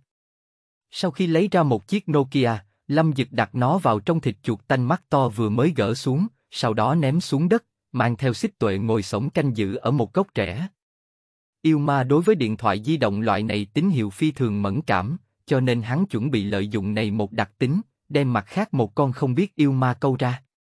Đột nhiên một hồi chuông điện thoại di động vang lên trong cống thoát nước trống trải, thanh âm không ngừng vang vọng thông qua chi nhánh truyền đến nơi xa hơn. Qua kém không nhiều lắm hai phút, Lâm Dực liền nghe được có cái gì sinh vật tại nhanh chóng tới gần bên này. Rất nhanh một con rất giống thằng lằn cùng cá sấu kết hợp màu đen yêu ma xuất hiện ở Lâm Dực trước mắt. Hắc kinh tích yêu. Hắn không nghĩ tới một yêu ma khác cất giấu trong cống thoát nước lại là hắc kinh tích yêu. Xem hình thể kia cùng xích tuệ kém không nhiều lắm, thực lực hẳn là cũng còn ở cấp nô bộc. Thực lực của yêu ma có thể thông qua hình thể cùng bộ phận nào đó để phán đoán, đây cũng là môn học bắt buộc của thợ săn. Thực lực của hắc kinh tích yêu mạnh hơn cự nhãn tinh thử, nhưng loại yêu ma này rất ít khi chui vào cống thoát nước của thành thị. Hẳn là chỗ nào đó bị cắn rách, mới dẫn đến hắc kinh tích yêu chui vào. Xích tuệ, giao cho ngươi. Giải quyết xong sẽ cho ngươi ăn ngon. Lâm Dực dùng khế ước tiến hành trao đổi với xích tuệ. Vừa nghe thấy có đồ ăn ngon, ánh mắt nó nháy mắt sáng lên. Không đợi Lâm Dực khai báo chi tiết tác chiến, lòng khí mãnh liệt đã phun ra từ miệng rồng. Một năm trưởng thành, xích tuệ hình thể mặc dù không có tăng lên quá nhiều, nhưng tổng thể trọng lượng đạt tới một cái rất kinh người trình độ. Tốc độ là sức mạnh. thêm vào đó là trọng lượng phóng đại. Xích tuệ giống như một quả tên lửa tuần tra phóng tới Hắc Kinh Tích Yêu. Cảm ứng được có cái gì đó đang tới gần Hắc Kinh Tích Yêu, muốn nhanh chóng rời đi nơi đây, nhưng nó cái kia bốn chân leo lên trên tường tốc độ so với xích tuệ mà nói quá chậm. Vừa mới đi về phía trước 50 cm, xích tuệ cũng đã đụng vào trên người Hắc Kinh Tích Yêu. Trung kích thật lớn, làm cho Hắc Kinh Cức Yêu bị đụng sâu vào. Xích tuệ học thông minh, vì không hề đem mình khảm ở trong tường, long dực trong nháy mắt đảo ngược, long khí phun ngược lại triệt tiêu thế xông về phía trước của xích tuệ. Long khí phun ngược lại khiến Hắc Kinh Tích Yêu phát ra tiếng kêu thống khổ. Long khí của Thiên Tuệ Long vốn là một loại năng lượng cuồng bạo, oanh kích trên người Hắc Kinh Tích Yêu làm cho nó có một loại cảm giác bị liệt diễm nướng chín, vẫy màu đen không ngừng rơi xuống, lộ ra bên trong bao bọc huyết nhục. Long trảo hữu lực tứ chi xích tuệ gắt gao chế trụ tứ chi Hắc Kinh Tích Yêu, gắt gao cố định ở trên tường. Sau đó xích tuệ mở cổ long chi ngạc có thể dễ dàng cắn nát sắt thép ra hung hăng cắn vào đầu nó. Chỉ nghe một tiếng ca sát, toàn bộ đầu hắc kinh tích yêu đã bị xích tuệ cắn xuống. Thân thể mất đi đầu sau khi thần kinh sống chết dãy dụ một chút liền mất đi động tĩnh. Rắc. Rắc. Xích tuệ trong miệng nhai nuốt đầu hắc kinh tích yêu, sau khi cắn thành từng miếng nhỏ, nó ngẩng đầu lên, một ngụm nuốt toàn bộ vào. Sau khi phát ra một tiếng ăn no, xích tuệ vui vẻ chạy đến bên cạnh lâm dực, dùng đầu cọ ống quần hắn, một bên ở trong khế ước bảo Lâm Dực phải nhớ mang nó đi ăn ngon. Được rồi được rồi. Anh sẽ dẫn em đi ăn đồ ngon, đừng cọ nữa, ống quần sắp trách rồi. Ai thật không biết mình là nuôi một con chó hay là một con đầu đội ngoài da rồng thiên tuệ. Bất quá nhìn thi thể hắc kinh tích yêu, Lâm Dực cảm thán nói. Cổ lông chính là cổ lông cho dù còn chưa trưởng thành cũng không phải yêu ma cấp nô bộc có thể so sánh được. Vẫn là hảo hảo dưỡng đi, đây chính là chân thật đùi, về sau chờ xích tuệ trưởng thành lên, hắn có thể bày nát làm cá muối rồi. Làm một con cá muối có một con cổ long cấp đế vương. Chương 6 Sửa chữa xong rồi, mệt chết đi được, gần 3.000 chữ, ai, hết chương này. Chương 7 Thanh thiên sang chỗ Bạn đang nghe tại truyện chấm audio. Chương 7 Thanh thiên sang sở từ sau khi thức tỉnh tinh trần, đã 2 năm. Hiện tại Lâm Dực Triệu Hoán hệ đã đạt tới cấp 3 trình độ, lại trải qua một đoạn thời gian tu luyện, liền có thể đột phá đến trung giai. Hai năm cấp 3, Lâm Dực cảm giác tốc độ tu luyện của mình có chút nhanh, mặc dù nói chuyển sinh mang đến chút ưu thế cũng rất bình thường, nhưng tốc độ này quả thật thái quá. Hẳn là sẽ không có người đem hắn liên tưởng đến hắc giáo đình đi. Anh ấy đẹp trai quá. Chắc là không. Trong thời gian một năm này, Lâm Dực cũng chú ý tới xích tuệ trong quá trình trưởng thành, sẽ có một loại năng lượng đặc thù thông qua tinh trần nuôi ngược đến bản thân hắn, điều này khiến cho cường độ thân thể của hắn tiến thêm một bước được cường hóa. Thân thể Pháp Sư vốn mạnh hơn người bình thường không ít, hiện tại thì tốt rồi. Bắt đầu hướng cường độ thân thể yêu ma tới gần. Có lẽ trong tương lai, hắn cũng có thể quyền đánh cổ lão vương, chân đạp ngọn núi chi thi. Nhưng có một tin xấu, Xích tuệ dưới sự chăm sóc tỉ mỉ của hắn một năm nay, hình thể trở nên lớn hơn, lượng cơm ăn cũng trở nên lớn hơn, tiền tiêu cũng nhiều hơn. Hiện tại đã cùng một con gấu không có gì khác nhau, cả ngày ngoại trừ ăn chính là ngủ. May mà thực lực xích tuệ vẫn không có vấn đề gì, ít nhất yêu ma cấp nô bộc hoàn toàn đánh không lại nó. Xích tuệ hiện tại chỉ cần cánh rồng một phiến là có thể dễ dàng chém thành hai đoạn. Thực lực đột nhiên tăng mạnh, để Lâm Dực ở trong vòng một năm liền đạt tới trung cấp thợ săn giai đoạn. Tốc độ thăng cấp này đối với sơ giai pháp sư mà nói là phi thường khoa trương. Chu Thành làm một cái thành nhỏ, giá trị cao ủy thác thật sự là ít, cho dù có, cũng là cùng yêu ma có quan hệ ủy thác. Một con yêu ma cấp nô bộc bình thường cần năm tên sơ giai pháp sư, phối hợp tốt mới có thể giải quyết. Vì vậy, các thợ săn thường hoạt động theo nhóm. Sau khi hoàn thành ủy thác, điểm tích lũy đạt được còn phải chia đều, cái này kéo chậm tốc độ thăng cấp. Ngược lại Lâm Dực vẫn luôn là một người hành động, cái này để cho hắn thu được điểm tích lũy cao hơn xa cái khác thợ săn, hơn nữa hắn cái kia trăm phần trăm hoàn thành suất. Trong Chu Thành có không ít người còn có thể chủ động tìm Lâm Dực hỗ trợ, điều này làm cho hắn thu hoạch không ít, tiền đi vào trong dạ dày xích tuệ cũng không ít. Quả nhiên hệ triệu hoán so với các hệ khác đều phải đốt tiền A. Hơn nữa cùng với biểu hiện chói mắt của Lâm Dực khi ủy thác cùng với lời đồn đãi càng ngày càng khoa trương lưu truyền giữa các thợ săn. Không biết từ lúc nào, các thợ săn bắt đầu xưng hô hắn là nhân hình yêu ma. Danh hiệu trung nhị bất thình lình này, khiến Lâm Dực hận không thể tìm một khe hở chui vào, quả thực là xã đã chết. Nhưng quả thật cũng đến lúc trời khỏi Chu Thành. Hiện tại Chu Thành ủy thác rất khó lại cho hắn mang đến áp lực, muốn trưởng thành nhất định phải đến tân thành thị lớn bên trong đi. Vừa vặn, hắn dự định đi theo chính mình chỗ dựa kế hoạch, đi ông cái thứ nhất thô đùi, cũng không biết đối phương có thu hắn hay không. Nếu như thành công, vậy hắn liền có được tư bản đặt chân ở thế giới này. Mà đồ, thành phố lớn có thể đếm được trên đầu ngón tay của Hoa Quốc, trình độ phồn hoa hoàn toàn không phải Chu Thành có thể so sánh.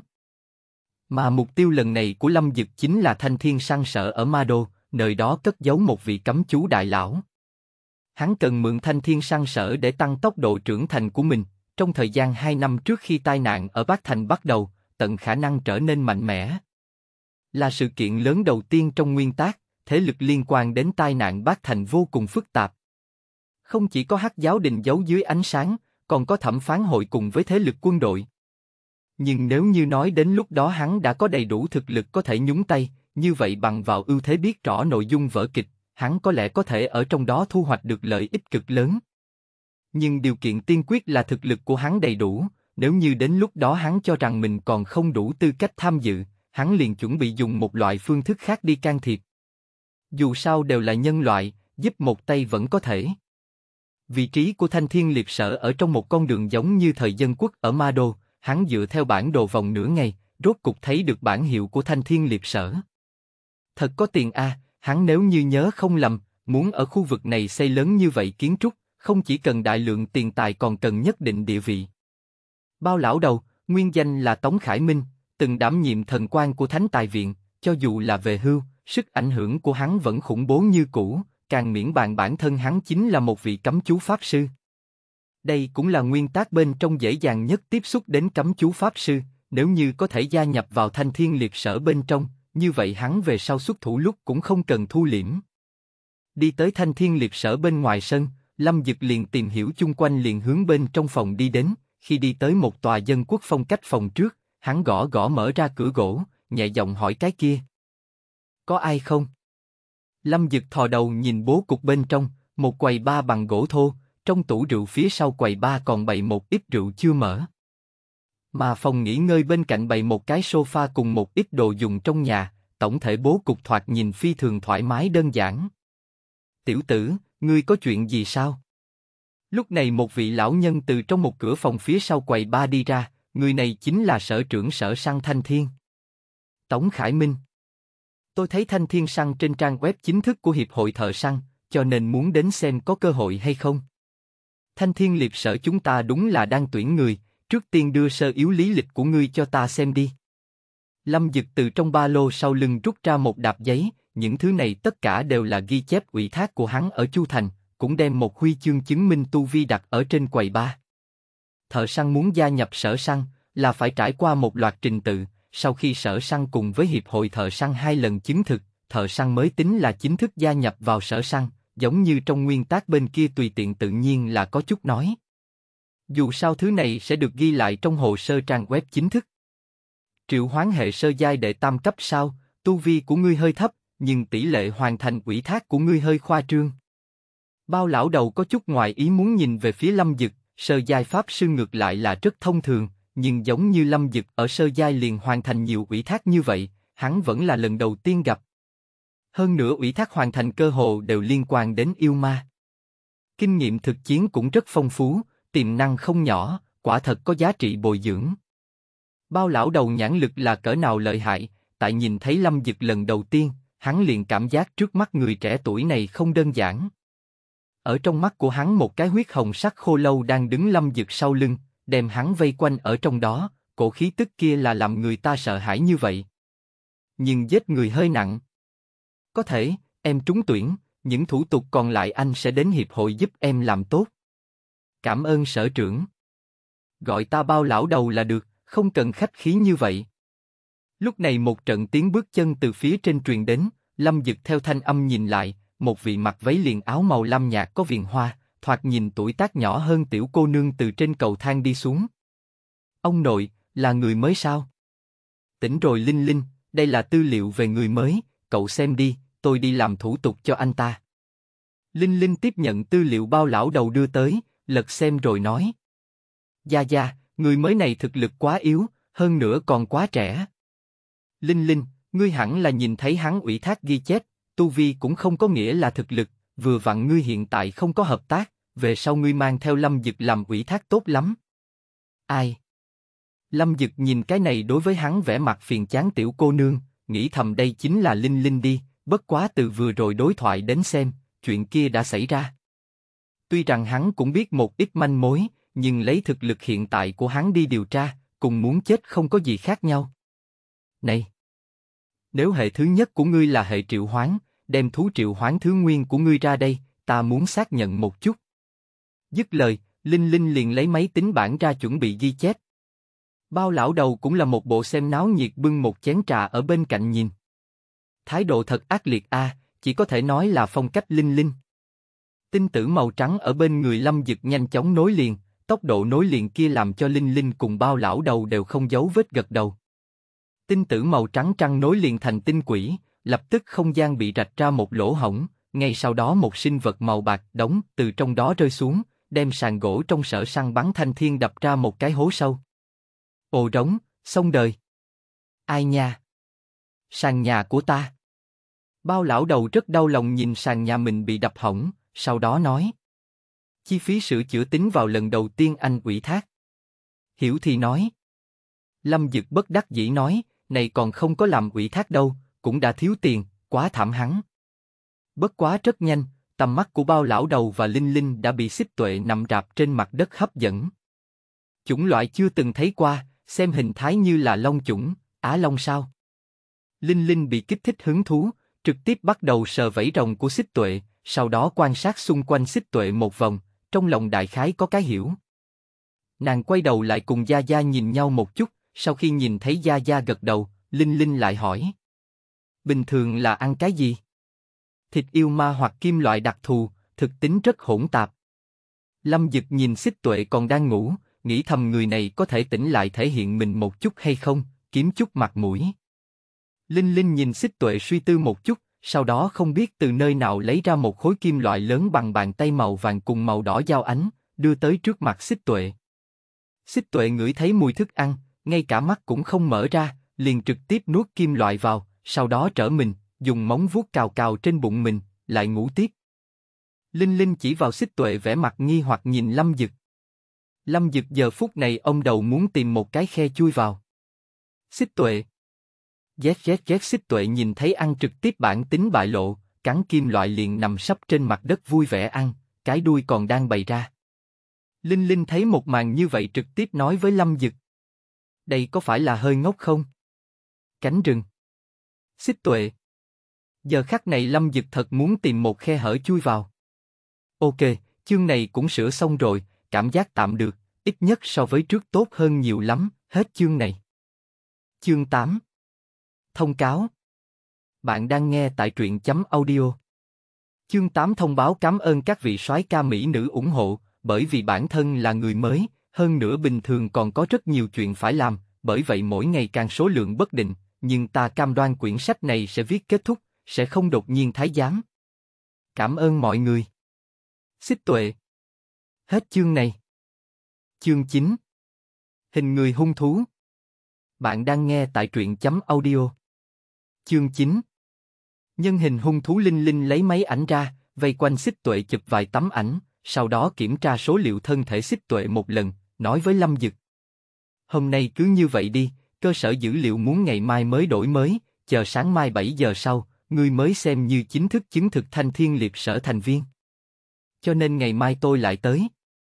Đúng vậy, vừa lúc trước có một ủy thác tích lũy chưa đi giải quyết, ngày mai anh đi cùng tôi.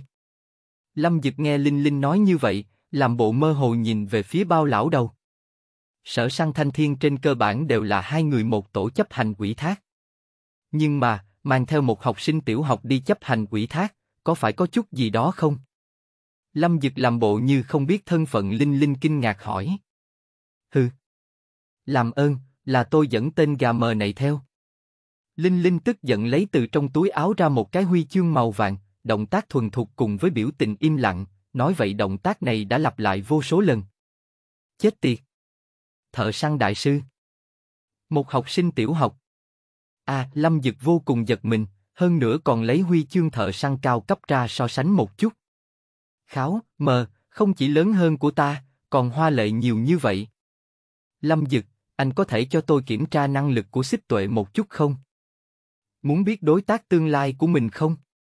Đúng là tác phong của Linh Linh. Bất quá lại nói tiếp, Linh Linh giống như cũng đang thu thập các loại yêu ma tư liệu, muốn làm ra một quyển bao quát toàn thế giới tất cả yêu ma lục yêu ma, một đêm là được rồi, rất nhanh. Linh Linh nhìn biểu tình do dự của Lâm Dực, lập tức nói ra. Nàng chưa bao giờ thấy qua xích tuệ như vậy yêu ma, phải biết rằng thanh thiên liệt sở thu thập yêu ma ghi chép là tương đối nhiều. Ngay cả rất nhiều yêu ma nước ngoài cũng tìm thấy trong kho tàng của thanh thiên liệt sở. Giống như đứa trẻ nhìn thấy món đồ chơi mới ở trung tâm thương mại, Linh Linh vô cùng muốn thu thập tất cả tư liệu về xích tuệ trước tiên. Gia Gia, trong kho hàng của chúng ta còn có không ít kim loại hiếm. Có thì có. Chỉ cần xích tuệ phối hợp, sau này quản cơm. Thành giao. Lâm Dực không chút do dự, quyết đoán đem xích tuệ bán, đương nhiên hắn là sẽ không đem xích tuệ một con rồng ném ở chỗ này, quá trình thí nghiệm hắn vẫn là toàn bộ quá trình làm bạn. Bao lão đầu mắt nhìn bầu trời bên ngoài, mặt trời đã dần dần chìm xuống dưới đường chân trời, ánh nắng chiều chói lọi phủ thêm hoàng hôn cho thành phố. Thời gian cũng không còn sớm, Lâm Dực ngươi có tìm được chỗ đặt chân ở Ma Đô không? Bao lão đầu nhìn túi lưng khổng lồ của Lâm Dực hỏi. Còn chưa, vốn là muốn đi ngay, nhưng bây giờ vẫn là đi cùng xích tuệ, làm xong rồi đi. Như vậy à, dù sao ngươi bây giờ cũng coi như một thành viên của Thanh Thiên Liệt Sở, trên lầu còn có phòng trống, để lại cho ngươi làm chỗ ở. Có thể không? Đương nhiên, như vậy về sau ngươi sẽ không có cớ nói không đi làm ủy thác, đúng rồi, còn phải nộp tiền thuê. Ngạch.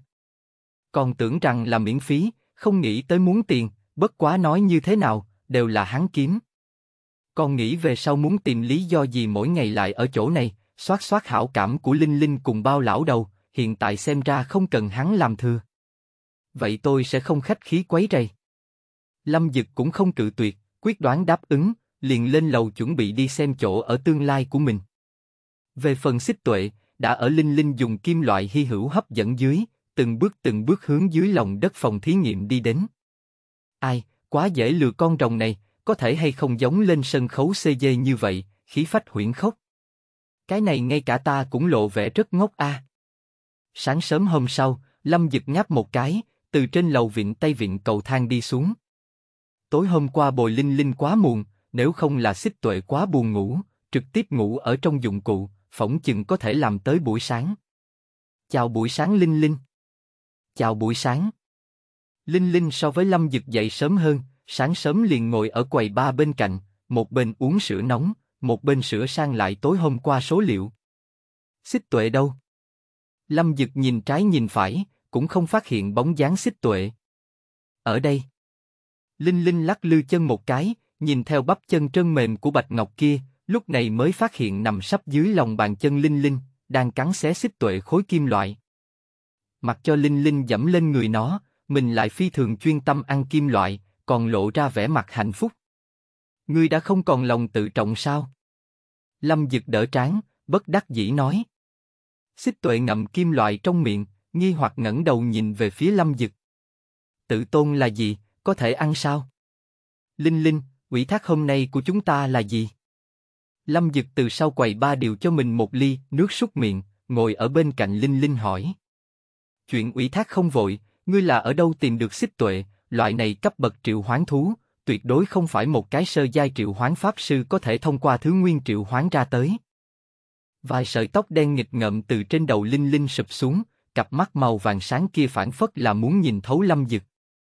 Gollum ùng ục, Lâm Dực không để ý Linh Linh điểm tầm mắt, một hơi đem nước súc miệng, nuốt xuống, lộ ra vẻ mặt hưởng thụ.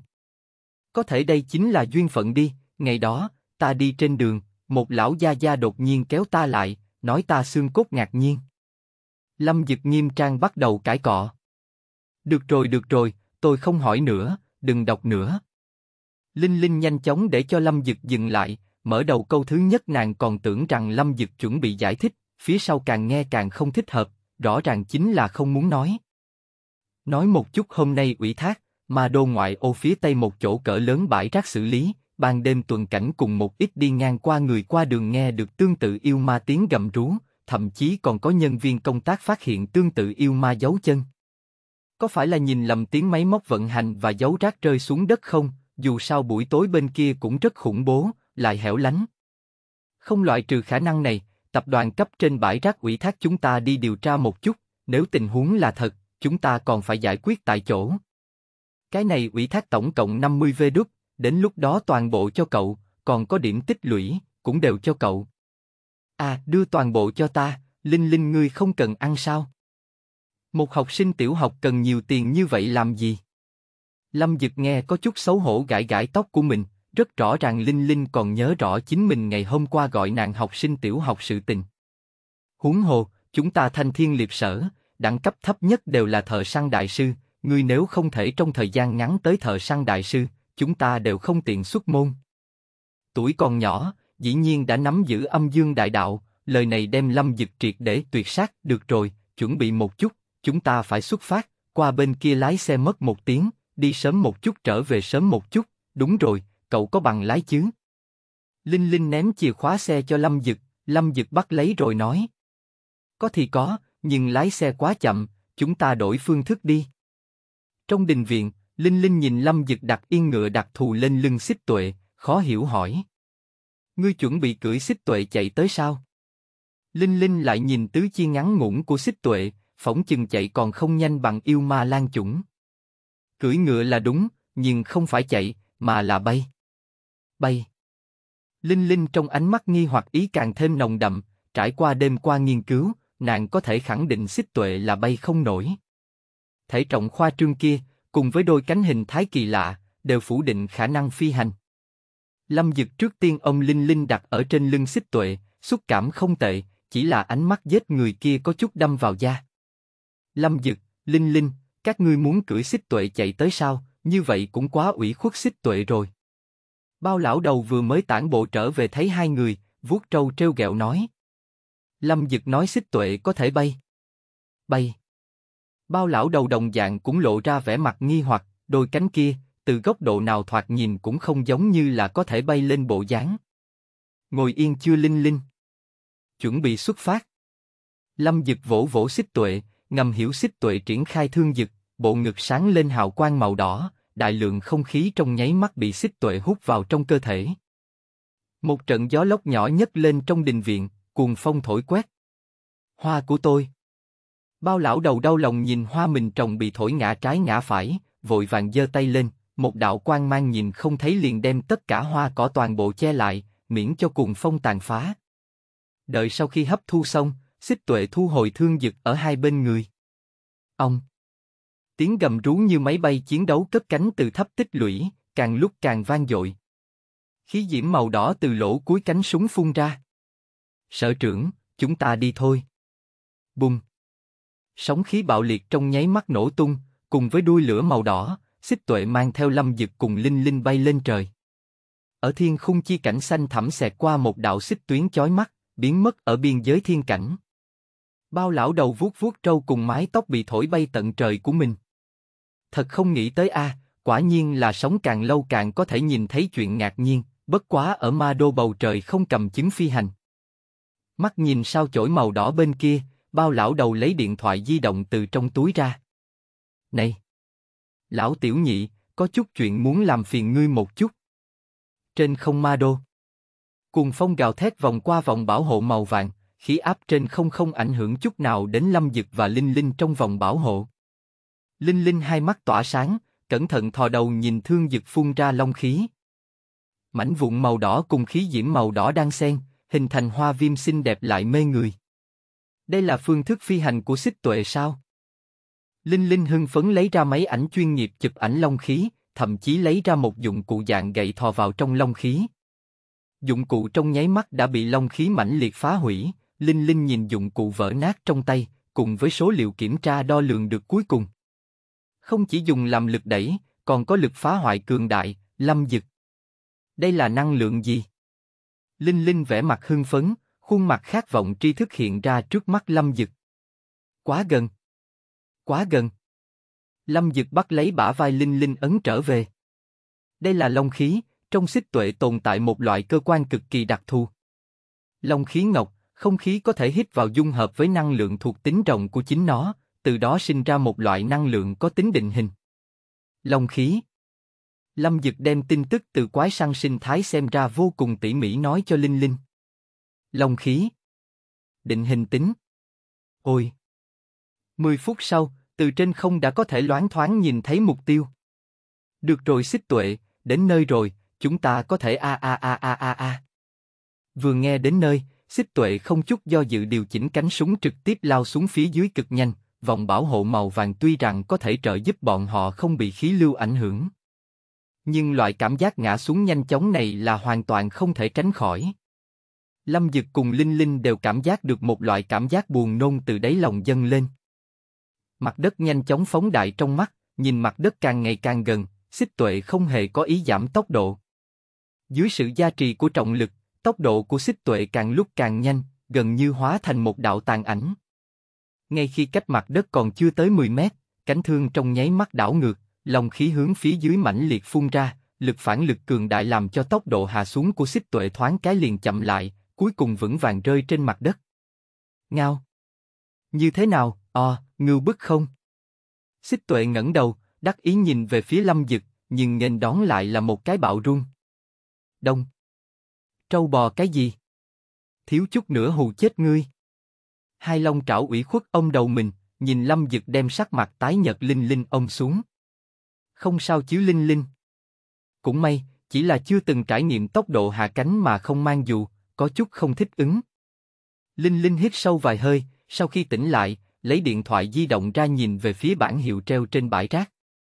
Nơi này chính là chỗ ủy thác nói, chuẩn bị một chút đi. Rác phấn tầm yêu sao? Nhưng mấy ngày nay đều có mưa rào, tối hôm qua cũng có mưa, bùn đất vẫn ướt. Nếu như giấu yêu ma, có thể giấu dưới đống rác hay không? Lâm Dực nhìn về phía núi rác cao hơn tường vây một mảng lớn nói. Không loại trừ khả năng này, người có ý kiến gì không? Linh Linh đem vấn đề ném cho Lâm Dực, nàng đêm qua tại cho xích tuệ đo lường số liệu lúc, cũng đem Lâm Dực quá khứ số liệu tất cả đều thu thập tốt. Nàng muốn nhìn xem cái này được đánh giá cao như thế, không có bất kỳ thất bại, tu vi còn ở sơ giai thợ săn cao cấp có kiến giải đặc thù gì. Dựa trên thông tin được ủy thác, tôi nghi ngờ con quỷ có thể đã đào hang dưới núi rác. Nếu như từng cái thanh lý lên, sẽ tốn hao thời gian rất dài, thậm chí sẽ quấy nhiễu đến yêu ma, người tính toán làm như thế nào? Linh Linh nhìn bản đồ trên máy tính bảng nói, diện tích bãi rác này cũng không nhỏ. Đương nhiên là để xích tuệ ra tay, xích tuệ đối với khí lưu cảm giác phi thường mẫn cảm, nếu như dưới núi rác có huyệt động. Lâm Dực nhìn xích tuệ một cái, xích tuệ liền lần nữa triển khai thương dực, bắt đầu hít vào không khí chung quanh, bất quá lúc này đây cường độ hấp thu nhỏ đi rất nhiều. Lập tức tinh mang màu đỏ từ trong bộ ngực xích tuệ sáng lên long ngân tản mát ra, dần dần hơn 10 đạo khí lưu loại nhỏ bị nhiễm màu đỏ. Những dòng khí bị nhuộm màu này tất cả đều đến từ núi rác. Lâm Dực cùng Linh Linh theo khí lưu nhìn lại, quả nhiên phát hiện ngọn núi rác phía trong cùng bên phải phát ra hai đạo khí lưu, một đạo là từ trong núi rác chảy ra, mà một đạo điểm nhỏ khác thì là kéo dài tiến vào núi rác phía dưới bên trong. Tìm được rồi. Không nghĩ tới xích tuệ có thể khống chế khí lưu đến mức này, thật sự là biện pháp ngoài dự đoán của mọi người. Linh Linh không che giấu chính mình đối với Lâm Dực biện pháp này tán dương, nàng cảm giác cái này hợp tác mới còn có thể cho nàng mang đến càng nhiều kinh hỉ.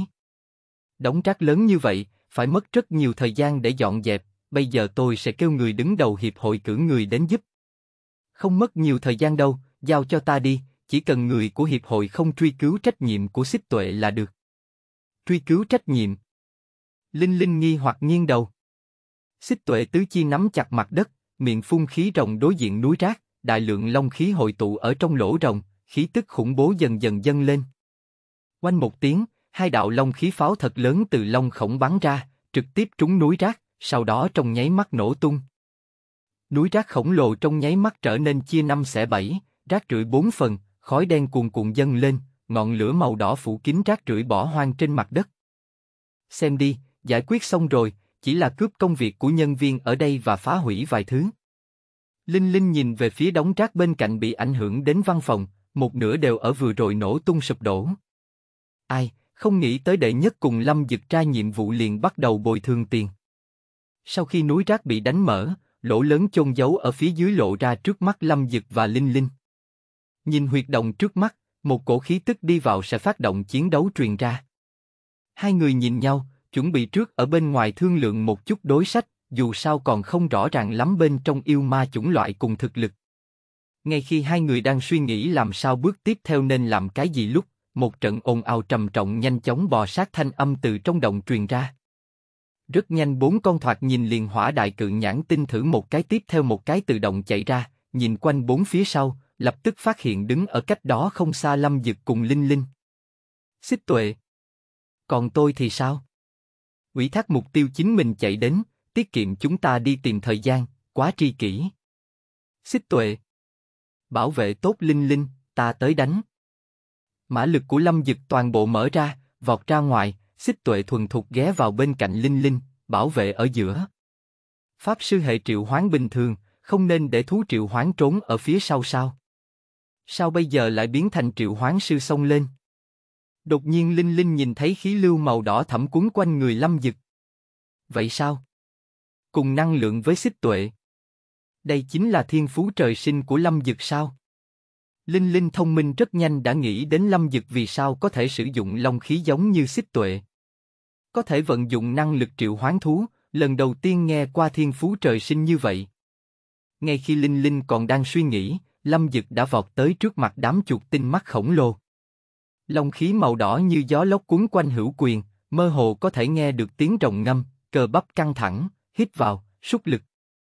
Xông tới phía trước nhất cự nhãn tinh thử dĩ nhiên đem cái miệng khổng lồ kia mở ra, muốn một ngụm đem Lâm Dực đầu cắn xuống. Chân phải Lâm Dực điểm một cái, cả người liền bay lên, vừa vặn tránh thoát cự nhãn tinh thử cắn kích, sau đó đối với trán hung hăng một quyền nện xuống. Băng. Lực trùng kích thật lớn làm cho đầu của cự nhãn tinh thử giống như là bị máy thủy lực đè xuống, con người tanh đỏ toàn bộ hướng ra phía ngoài nổ tung, cùng nổ tung còn có cái đầu lông đen kia. Hưu. Đột nhiên một tia laser màu đỏ tanh bắn về phía Lâm Dực Cực. Tay trái bao trùm long khí, trực tiếp một quyền đem laser đánh tan, sau đó không trung xoay người một cái, đem một con chuột tanh mắt lớn khác đánh tới đá bay. Linh Linh nhìn đấu pháp vô cùng bạo lực của Lâm Dực, hoàn toàn không nhìn ra ai mới là yêu ma. Thân thể pháp sư vốn yếu ớt, gần như bị yêu ma đánh trúng một lần chính là trọng thương. Mà hiện tại, những này mắt to chuột tanh bị Lâm Dực đánh trúng một lần không phải chết chính là tàn. Linh Linh mở một phần văn kiện trên máy tính bảng, bên trong ghi lại ghi chép Lâm Dực tiến hành hoạt động thợ săn ở Chu Thành. Chúng ta trốn ở phía sau, nhìn xem Lâm Dực đuổi theo những cái kia nô bộc cấp yêu ma chạy khắp nơi, đi đến chỗ đều là thi thể, đây đâu phải là nhân loại a? Linh Linh nhìn miêu tả này, lại ngẩng đầu nhìn Lâm Dực đang hưng phấn. Ngày hôm qua khi cô nhìn thấy đánh giá này còn cảm thấy có chút khoa trương, hôm nay chân chính xem qua, mới cảm thấy viết vẫn là quá khiêm tốn. Đây đâu phải là yêu ma khoác da người, rõ ràng là một con hung thú hình người.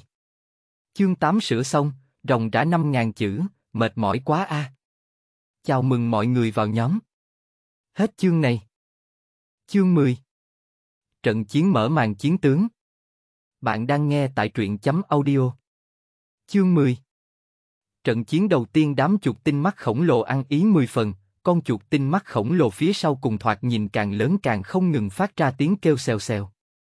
Sau khi nhìn thấy một con chuột tinh mắt khổng lồ được giải quyết, những con chuột tinh mắt khổng lồ này cũng không vì vậy mà sợ hãi, ngược lại là bởi vì mùi máu tươi kích phát cuồng ý của chúng.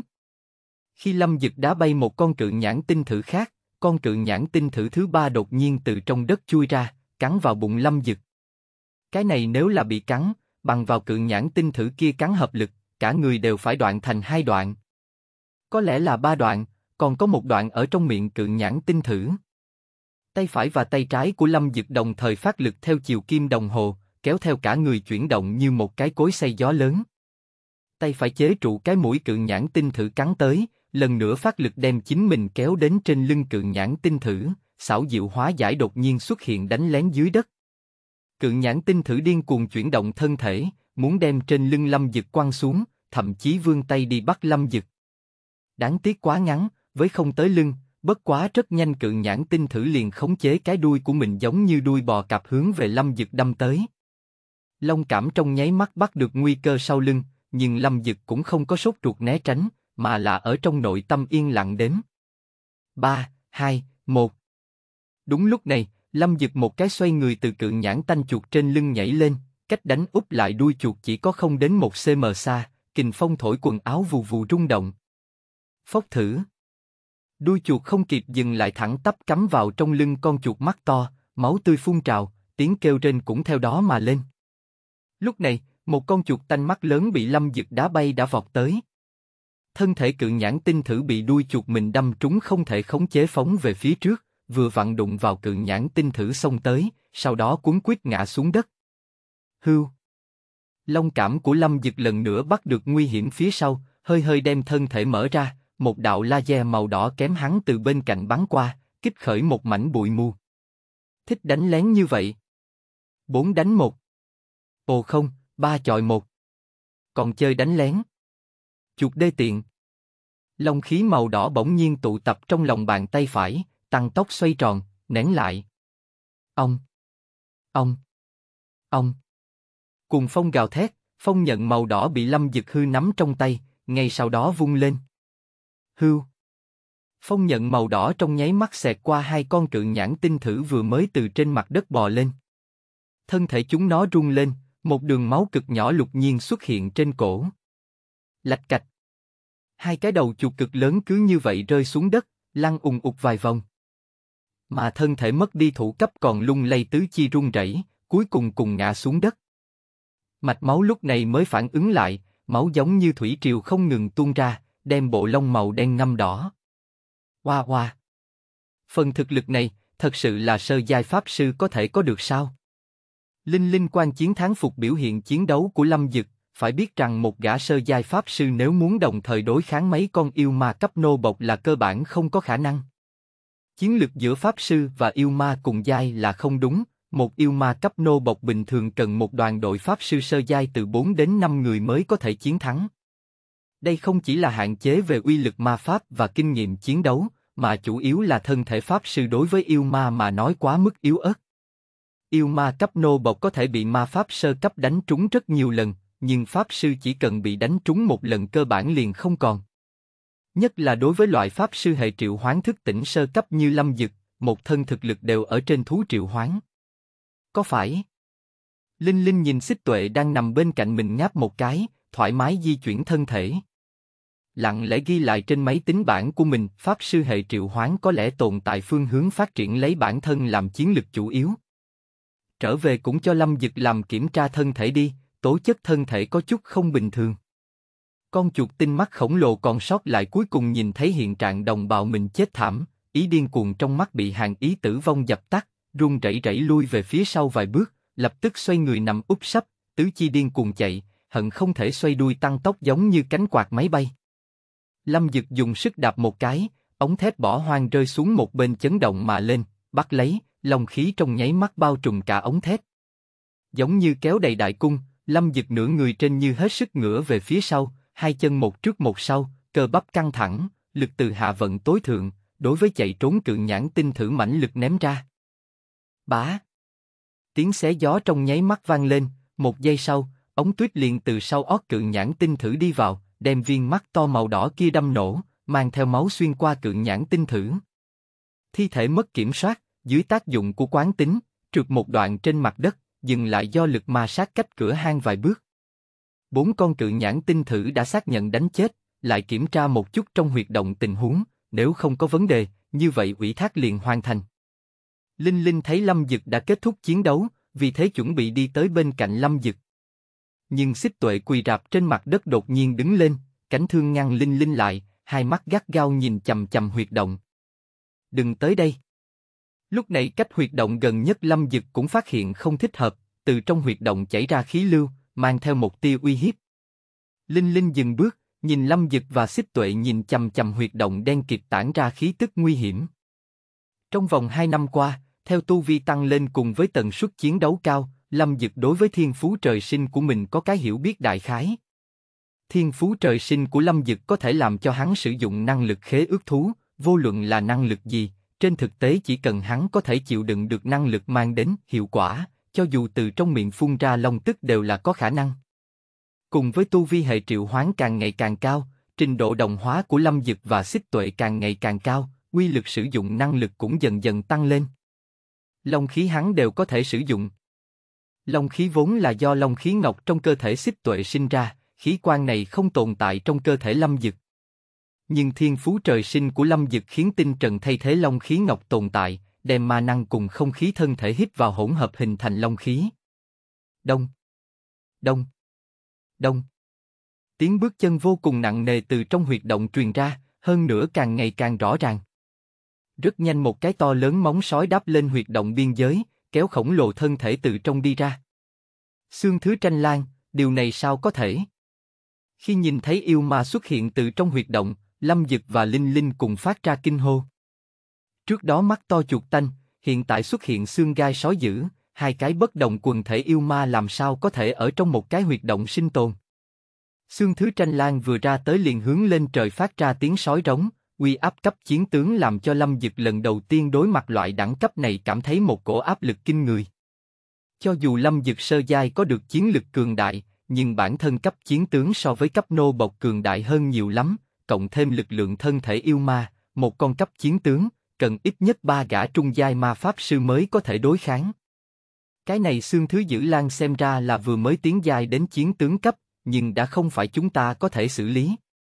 Rất nhiều yêu ma có thể thông qua quan sát bề ngoài để phán đoán ra thực lực, trước mắt xuất hiện cốt thứ tranh lan chỉ có độ cao chừng 3 mét, rất rõ ràng là tiến giai không bao lâu, giống như trong nguyên tác, Mạc Phàm bọn họ gặp phải cốt thứ tranh lan vượt qua ba tầng lầu, thực lực tuyệt đối đạt tới đại chiến tướng. Không đúng.